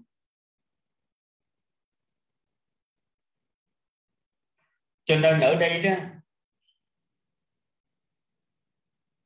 là chúng ta chỉ có, chỉ cần hiểu được cái ý nghĩa là chữ Buddha dạy cho cả ba trường hợp, sắp bao nhiêu Buddha Pache có Buddha và Savaka Buddha còn cái chữ Arahanta đó, thì chúng ta nên nhớ Sapanyu Buddha cũng là bậc Arahanta. Pache Buddha cũng là Arahanta. Mà bậc Savaka Buddha cũng là Arahanta. Nhưng mà tùy theo cái chỗ mà sắp đặt cái cái cái mạch văn mạch văn kể thôi. Chúng tôi muốn xin chia sẻ với quý vị như vậy.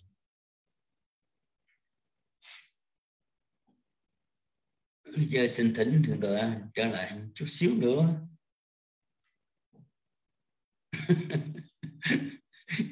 Các phật tử phật tử dụ sư, sư kệ chưa hiểu. Cái này đâu có gì đâu không hiểu. Cái này các vị à, chỉ cần hiểu cái chữ phúc thá với chữ arahanta thôi. Còn cái chữ còn cái vấn đề mà kệ thêm nữa thì quý vị nên nói rằng là chúng con muốn nghe nữa. Thỉnh ngày kệ thêm một lần. Thì thì được ở này cô Nhật Quỳnh nói là chưa con chưa hiểu. Kệ không có gì hiểu cả. Nghe âm thanh không, không có gì hiểu.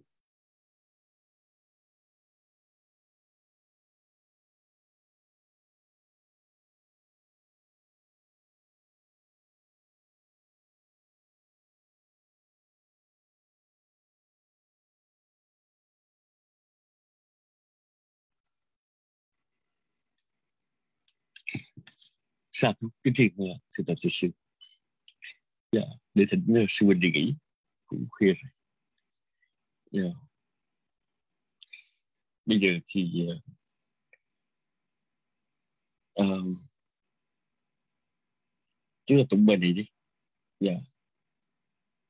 Thì tọa pháp đăng thì tọa có trước máy thì tọa đăng có trước máy thì tọa hướng dẫn uh, cho quý phật tử tụng bài này một chút được không? Dường như sư tổ pháp đăng không có ở trước máy. À, sư tự tri ấy sư tự tri ờ, đại đức tự tri có thể uh, tụng bài này ờ, uh, 10 lần được không? Tụng cho quý phật tử đọc rồi sau đó thì vị nào muốn đọc thì xin được mời. Dạ mời để được tự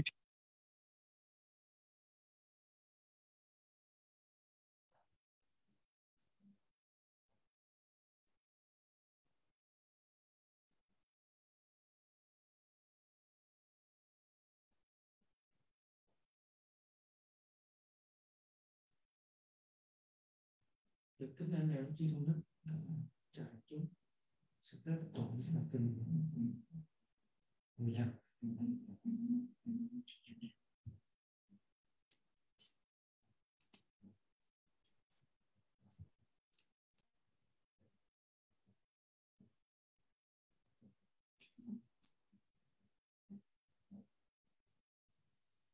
Sabe Buddha Palapata පච්චේකනං චයන් බලං අරහන්තානං චතේ චේනා රකං පන්ධාමි සප්පසෝ සපේ පුතා බලපතා පච්චේකනං චයන් බලං අරහන්තානං චතේ චේනා රකං පන්ධාමි සප්පසෝ Buddha Palapata Pachekanang Chayang Balang Arahanta Chate Chena Rakhang Panta Misapaso Sape Buddha Palapata Pachekanang Chayang Balang Arahanta nang chate chena rakhang සප්පේ පුතා පලප්පතා පච්චේ කනං චයං බලං අරහන්තා නිච්චතේ චේන රඛං පන්තා මිසප්පසෝ සප්පේ පුතා පලප්පතා පච්චේ කනං චයං බලං අරහන්තා නිච්චතේ චේන රඛං පන්තා මිසප්පසෝ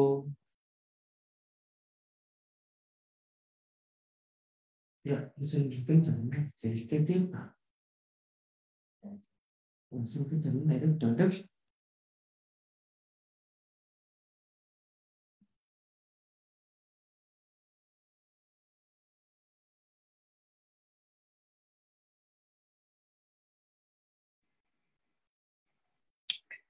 Sa thú à, xin truyền đại đức tự tiên dạ mời mời cô tiểu duyên.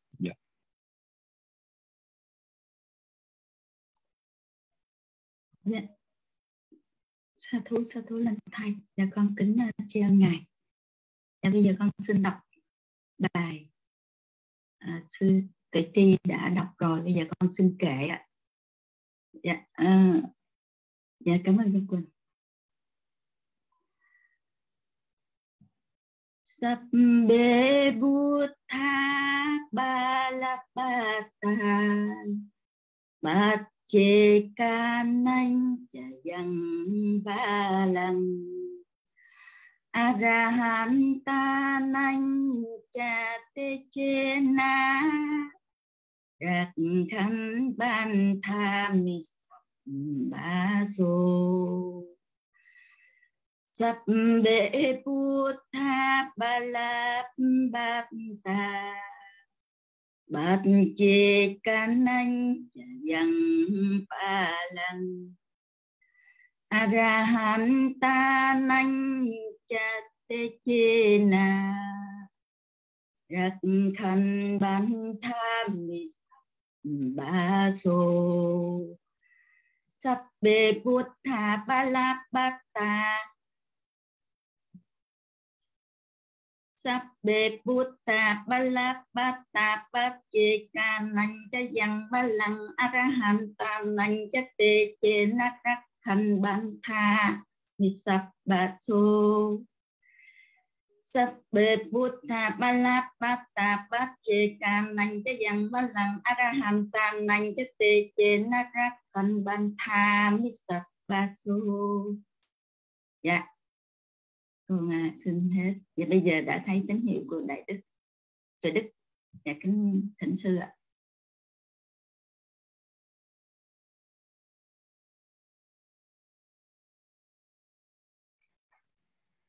Nam mô Bích Tha giá, Nam mô Tham Ma giá, Nam mô Sang Kha giá, con thành kính lãnh lễ ân đức Tam bảo, Phật bảo, Pháp bảo và Tăng bảo, con thành kính lãnh lễ tọa giác đẳng, tọa pháp tăng, tọa minh hạnh, sư tôn đức tăng lên hiện diện trong đạo tràng. Dạ con xin đọc bài ạ.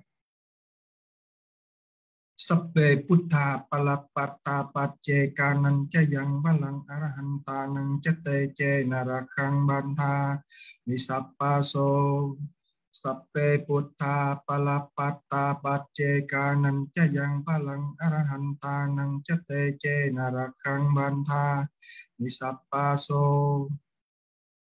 sape putta palapata pace kanan cayang balang arahan tanang cetai ce narakang banta. Nisapa so. Ya sini. Nomor lagi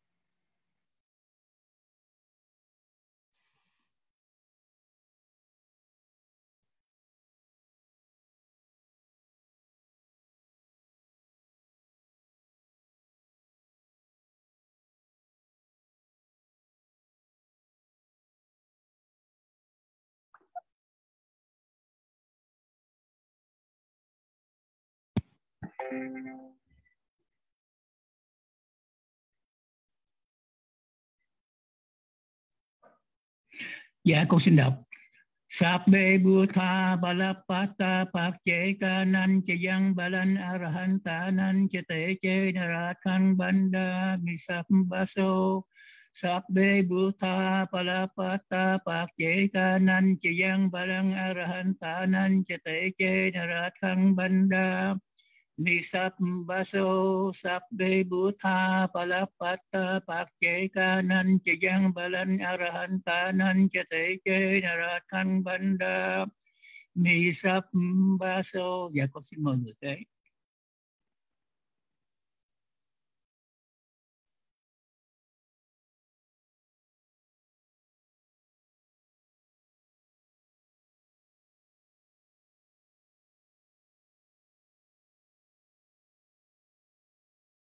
mời cô Diệp Quỳnh dạ.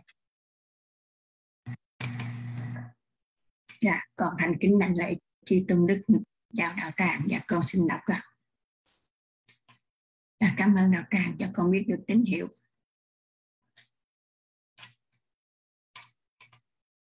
Sắp đề bút thà ba lắp bát ta bát chê ca nành cha dân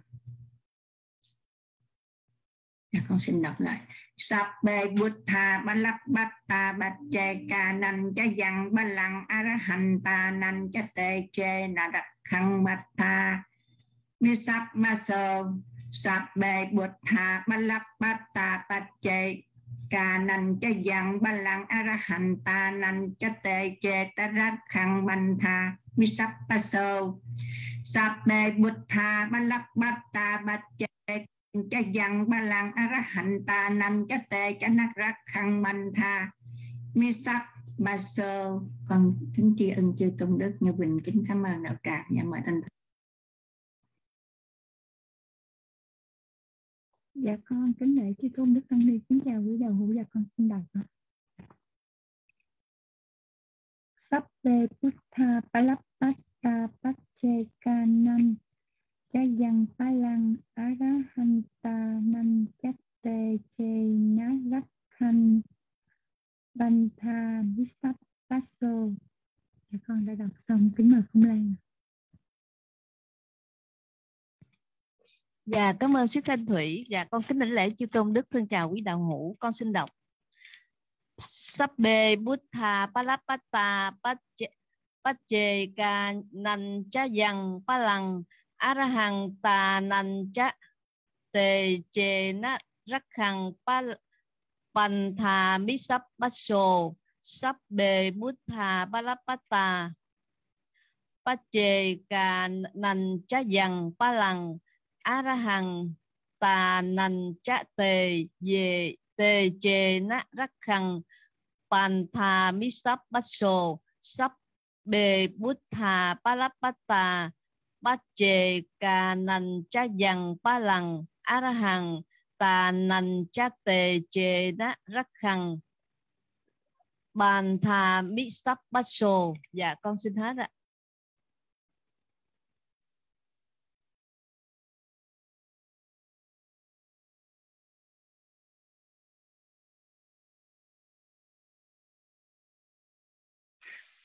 Cái trường uh, chư tôn đức và cảm ơn quý phật tử À, thưa quý vị, lẽ ra là chúng ta đi vào phần bài tập. Nhưng mà nhân à, bài học ngày hôm nay, chúng tôi muốn à, nói lên một điều như là một lời tâm sự. Và đặc biệt là chúng tôi cũng nhắc quý phật tử đó.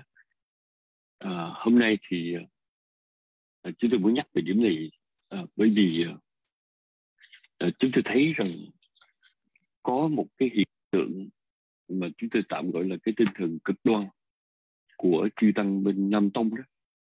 À, mà chúng tôi gặp rất là nhiều vị. Và khi mà chúng tôi nghe các vị này nói đó thì chúng tôi rất là ái ngại. Thí dụ như là à, các vị phủ nhận cái việc mà tụng kinh cầu an cầu siêu hồi hướng phước hay là cầu nguyện ân đức của phật của pháp của tăng À,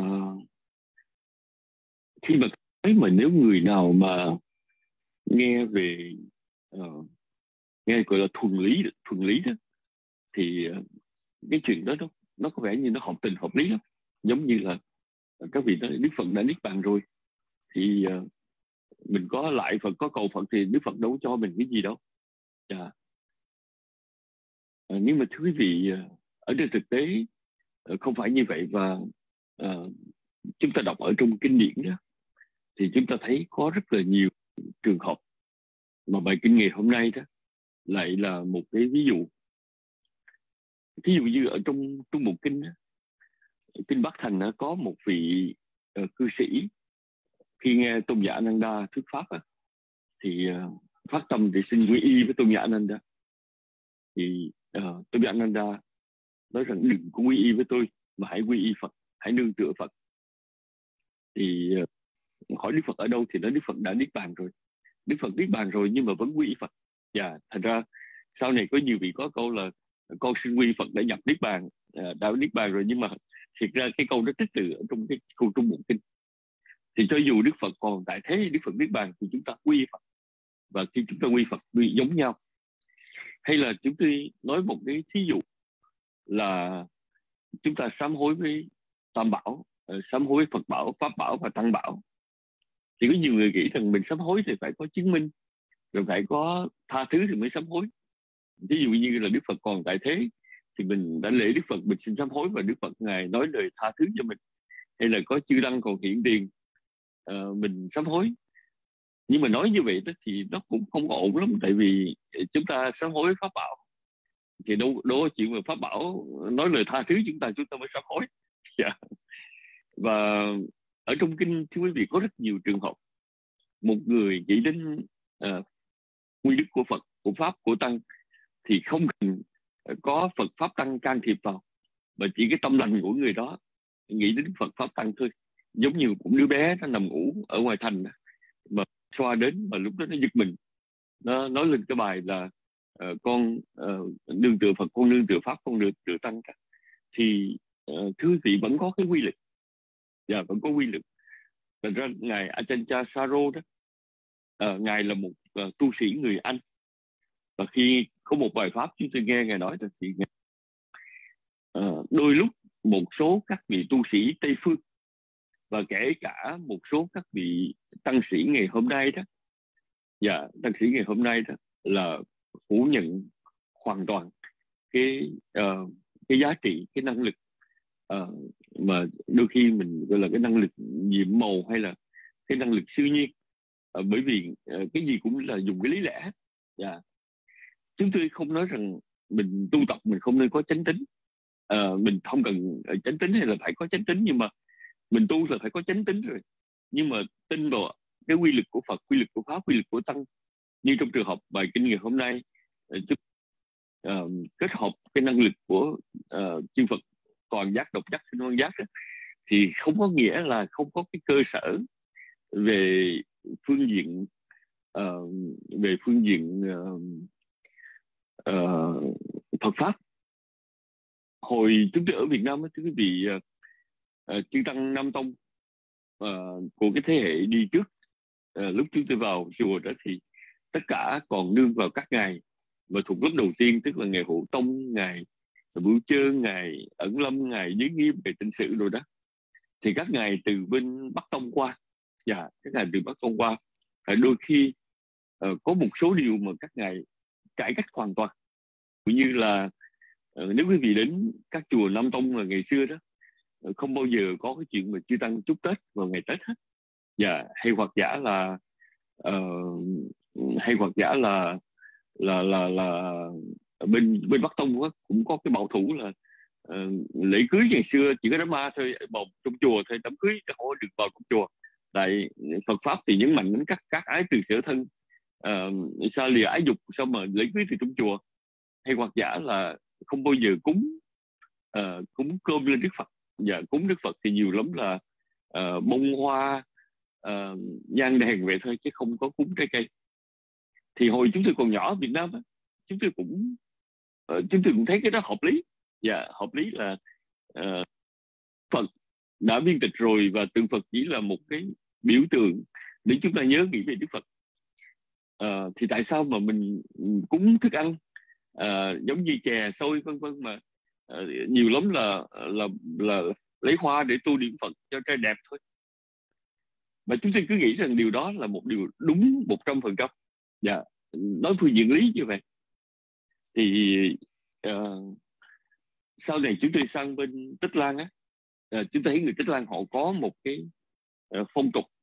Dạ, có phong tục là uh, mỗi một ngày á khi mà họ ăn cơm thứ vì họ nấu cơm xong á, thì họ lấy một ít thức ăn họ để trong những cái chén rất là nhỏ và chén nhỏ nhỏ năm bảy cái chén như vậy họ để trong một cái mâm. Dạ mâm. Thì họ ăn cái gì họ múc trong chén đó một chén cơm ở giữa và thức ăn xung quanh. Rồi họ đậy trên đó một cái khăn màu trắng. Và họ đem lên trên bàn phật đó họ cúng dường cho đức phật. Họ nghĩ rằng uh, đây là buổi sáng.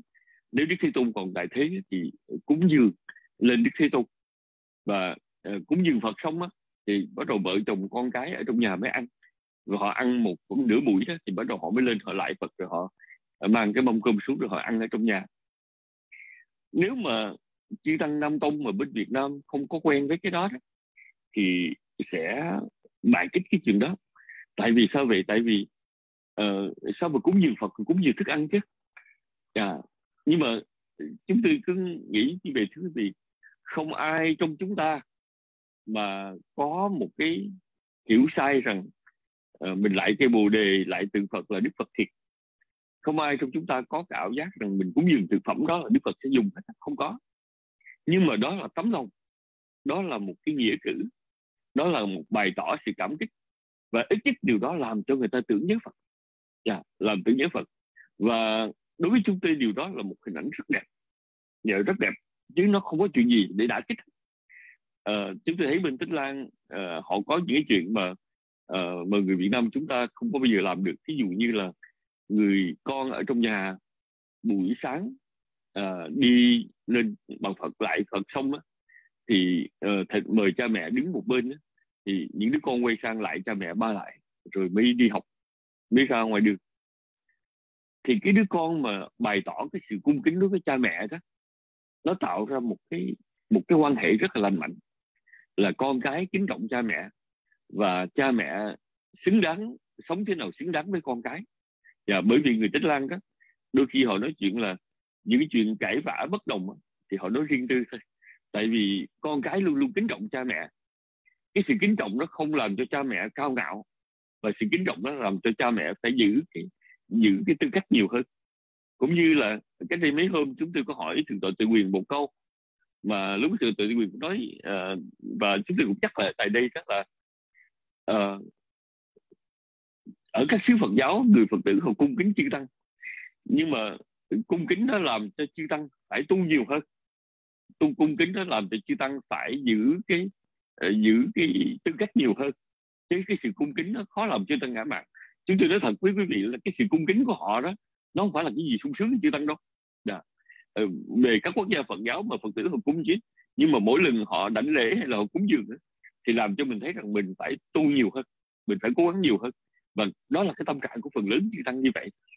Vì Việt Nam chúng ta nghĩ là ồ Phật tử mà uh, cung kính với mấy vị thầy quá với thầy hư hay là lên mạng ta đây chúng tôi về các xứ Phật giáo chúng tôi không thấy như vậy. Nó đây là một cái một trong những cái điểm mà nhiều khi uh, chúng ta nói trên lý thuyết là một chuyện nhưng mà về phương diện thực hành là một chuyện khác. Thành ra trong cuộc sống này đó uh, chúng tôi ở gần với các vị trưởng lão. Ví dụ như là ngài tịnh sự. Và dạ, tịnh sự thì ngài uh, ngài ngài là một vị uh, dạy về thắng pháp. Nhưng mà chúng tôi ở gần ngài thì ngài thường chủ phước. Và ngài chủ trương là phước. Ví dụ như ngài là người đã cổ suý cái uh, phong trào là các chùa tứ phương tăng làm sao mà những ngôi chùa được cất lên đó là vĩnh viễn là của chư tăng chứ không phải cá nhân của vị sư A, sư B. Và cái tứ phương tăng đó ngài có cái niềm tin trọn vẹn lắm niềm tin mạnh lắm là trong những cái phước đó, không có phước khí nào lớn bằng cúng dường đến tứ phương tăng không, không có phân biệt. Ví dụ như là một cái vị uh, thí chủ xây một ngôi chùa bỏ số tiền lớn cho vị sư này hay vị sư khác các chùa không bằng mình cúng vào ngôi chùa mình nghĩ ngôi chùa đó là chùa của của tứ phương tăng thì cái đó là là một một cái chuyện hoàn toàn khác. Và như chúng tôi ở gần hòa thượng hộ giác á, và hòa thượng hộ giác á, thì uh, những lúc mà có những mà trong phật sự vị này vị kia đó thì ngài cũng hay nhắc ngài nói rằng những lúc đó đừng có phản ứng vui buồn đừng nặng vui buồn mà cố gắng uh, tụng kinh nhiều hơn ờ, cố gắng chuyên trì niệm phật nhiều hơn và cái niệm phật mà ngài muốn nói là giống như ở đây chúng ta tụng đó. Ờ, Sabbe Buddha Palapata Bache Kananchayang Palang Arahanta Danchate Chena Takhang Bantha Misapaso Vậy chúng ta nghĩ tưởng đến ân đức của Phật. Và trong trong kinh uh, tạng Tam tạng Bali ấy, chúng tôi có cam đoan với tất cả quý Phật tử ở đây là nếu quý vị muốn thì chúng tôi có thể dẫn chứng không phải là hàng hàng chục câu chuyện mà hàng trăm câu chuyện. Trong đó uh, có những vị tỳ kheo có những người Phật tử có những em bé có những vị thiên mà à, khi mà niệm tưởng đến ân đức Phật ân đức Pháp ân đức Tăng á, thì thành tựu được lợi lạc. Mọi sự thành tựu đó không nên hiểu rằng khi mình niệm Phật rồi Phật à, đem tràng phong vào cái đến trước hay niệm Phật rồi Phật gia hộ mình mình trì niệm cái ân lành của Phật tức là để mình cảm nhận.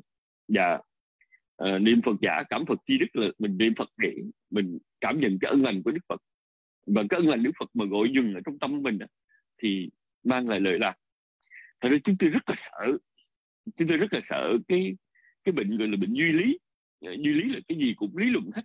Và lý luận hết. Ví dụ như là uh, có nhiều vị sư vào trong chùa tu mà đã kích cái chuyện nghi lễ đã kích cái chuyện tụng kinh cầu an cầu siêu.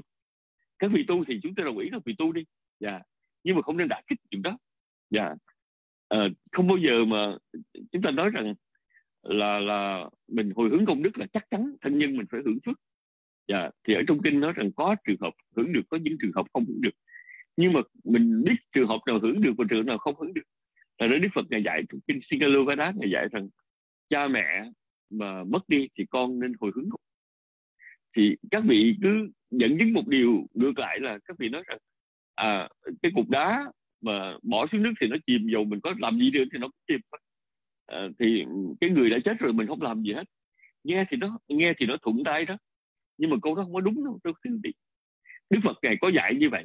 Ngài có dạy là trong trường hợp mà một người mà chết đi mà người khác cứ ngồi uh, kêu la khóc lóc cầu nguyện á, thì uh, quên rằng người đã đi theo nghiệp của người đó. Nhưng mà ngài cũng dạy rằng chúng ta nên làm phước tạo phước hồi hướng. Và có những điều mà uh, chúng ta rất là nên. Ví dụ như là Đức Phật đã từng dạy cho vua uh, Bimbisara hay là vua Pasenadi uh, tạo phước điều hồi hướng cho thân nhân quá vãng. Hay là những đệ tử Phật cũng làm như vậy. Chứ không phải là mình nói chết rồi là hết. Mình không làm cái gì cho thân nhân quá vãng hết. Thật ra chúng tôi rất là sợ cái cách học cực đoan. Và cách học này đó nó dẫn đến cái sự uh, tổn thương với phật tử. Đôi khi chúng ta sống trong một xã hội duy lý nhiều quá. Dạ yeah, xã hội duy lý nhiều quá tức là uh, chúng ta chỉ nói một chúng ta nói có lý mà không có tình chúng ta nói uh, mặt này chúng ta không nói mặt kia uh, trong trong trong bộ kinh đức phật này có dạy rằng uh, cái sự học và áp dụng Phật pháp đó, nó khó giống như người ta bắt rắn vậy đó. Dạ. Quý vị nào để ý thấy người ta bắt rắn thì nếu mình bắt không có khéo rắn nó quay lại nó cắn mình. Dạ. Giờ mình để ý thấy người bắt rắn bắt rất là khéo. uh, thứ nhất là họ cầm một cái một que củi hay cái gì đó họ chặn cái đầu nó trước mà họ nắm cái cổ đó con rắn dù, dù rất độc nhưng mà nắm cổ thì nắm được. Tại sao đức phật ngài đem cái con rắn này thí dụ?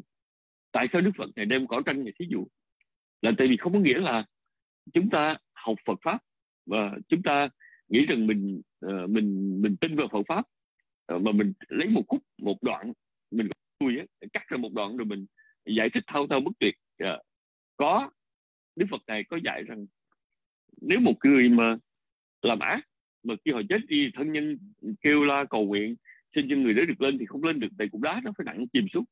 Nhưng mà phải hiểu đức phật ngày giảng trong cái ngữ cảnh nào ở trong cái bối cảnh nào chứ đem cái đoạn đó ra mà phủ nhận tất cả sự hồi hướng phủ nhận tất cả sự cầu nguyện thì rất là sai. Cũng như hồi nãy chúng tôi nói rằng uh, mình uh, cúng dường lên đức phật không có nghĩa là Ờ, đức phật ngài phải hưởng bông hoa đó, mình phải hưởng khối nhang đó, mình cúng dường. Hay là mình, người, mình cúng dường đức phật đức phật phải ăn, phải thọ thực, phải thọ dụng cái thực phẩm mà mình cúng dường, mình mới nên cúng dường. Mình cúng là cúng thôi. Dạ. Chúng tôi chưa bao giờ nghĩ rằng mình đem bông hoa đến đền tháp xá lợi hay là bông hoa đến tượng phật mình cúng mà đức phật hưởng cái đó hết? Không có. Chúng tôi không thì tại sao cúng bông hoa được? Tại sao cúng trái cây được mà người ta cúng đồ ăn mình chỉ trích ờ, và uh, chúng ta cúng thực phẩm đến cho uh, cho uh, bằng phật được thì tại sao chúng ta uh, ví dụ cha mẹ mất đi một người con là một cái uh, mâm thức ăn một bình trà uh, để tưởng nghĩ đến cha mẹ và cúng dường thể hiện cái lòng uh, thương kính như cha mẹ còn tại thì chúng ta nghĩ chuyện đó hoàn toàn chấp nhận được. Chúng ta không nên bài bác nhiều quá. Bởi vì uh, cái tinh thần mà gọi là tinh thần uh, dung hòa tinh thần dung hợp rất là cần chúng tôi phải nói thật với quý phật tử một điều thôi. Dạ chúng tôi phải nói thật. Đó là người Việt Nam mình có nhiều lúc bảo hoàng hơn vua. Dạ bảo hoàng hơn vua tức là uh, mình theo đạo nho thì mình nho hơn là mấy tống nho. Dạ theo cộng sản á, thì còn gắt hơn cộng sản. Uh, thứ thiệt mà theo thiên chúa còn gắt hơn là thiên chúa của pháp. Mà theo phật giáo nam tông đôi khi còn gắt cũng kiều hơn phật giáo nam tông nữa chứ tôi lấy ví dụ là hồi chúng tôi còn nhỏ đó ngày tết đó, mà là một vị tu sĩ nam tông mà có lời chúc là bị rầy liền và thí dụ như chúng quý phật tử năm mới thanh tâm an lạc thì bị rầy là nói rằng năm mới gì năm mới cái mới đến là dẫn gần dần gần đến sự chết chứ có gì đâu chút nhưng mà sau này chúng tôi sang các xứ nam tông thì thứ quý vị không phải vậy.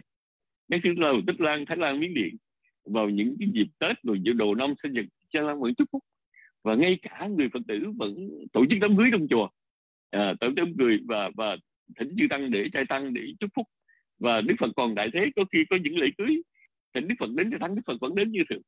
Thành ra à, chúng ta nên chúng ta nên chúng ta nên sống à, à đó là khế cơ khế lý mà cũng khế cơ khế cơ mà cũng khế lý. Chúng ta sống nên nghĩ đến đạo lý mà cũng nên nghĩ đến cận nhân định riêng về cái bài kinh ngày hôm nay đó thì thứ quý vị chúng tôi đọc ở trong kinh rất là nhiều đoạn ừ, ở trong những đoạn kinh nó nói về cái năng, quy lực đức của Phật. Thì dù một người không ở gần bên Đức Phật, dù một người không có sanh vào thời Đức Phật còn tại thế, nhưng mà nhớ đến ơn đức của Phật và trì niệm ơn đức của Phật thì điều đó cũng lợi lạc. Và do vậy, đôi lúc ở trong cuộc sống của chúng ta đó, chúng tôi nhớ Ajahn Sumito là một vị sư người Mỹ rồi sau này tu theo Ajahn à, Cha đó. Tức là tu theo một cái một cái một cái uh, một cái truyền thống mà đặt nặng về uh, cái cái cái gọi là cái lý tính đặt nặng về cái sự hiểu biết đặt nặng về sự tu tập đó. Vậy mà ngài Sumito ngài nói rằng ở trong đời khi mà ngài vào trong rừng sâu hay trải qua cảnh này cảnh kia thậm chí ngày xưa qua bên anh hoàng pháp mà không có lúc mà không có đủ có lúc mà thấy đến chỗ đó ít phật tử khó khăn quá thì ngài cũng nghĩ đến ba câu thôi. Là bút thăng sarangachami thamăng sarangachami cha bí con nương tựa phật con nương tựa pháp con nương tựa tăng và quý vị phật tử để ý thấy thậm chí chúng ta đôi khi cực đoan đến đổi mà chúng ta phủ nhận cái giá trị của đức tin mà đức phật ngài đối dạy chúng đức tin. Ngài nói là đức tin là hạt giống. Dạ đức tin là hạt giống. À, đức tin là gì? Đức tin là cái tài sản quý của con người ngày dạy đức tin là gì? Đức tin là một năng lực ở trong ngũ lực à, tính lực tính lực niệm lực định lực tuệ lực. Chứ chúng tôi không có nghe bao giờ mà tu tập mà phủ nhận đức tin hết. Thành ra ờ, khi mà chúng ta tu tập mà có đức tin đi với cái trí tuệ đó, thì cái tâm tư chúng ta sẽ mềm mại hơn.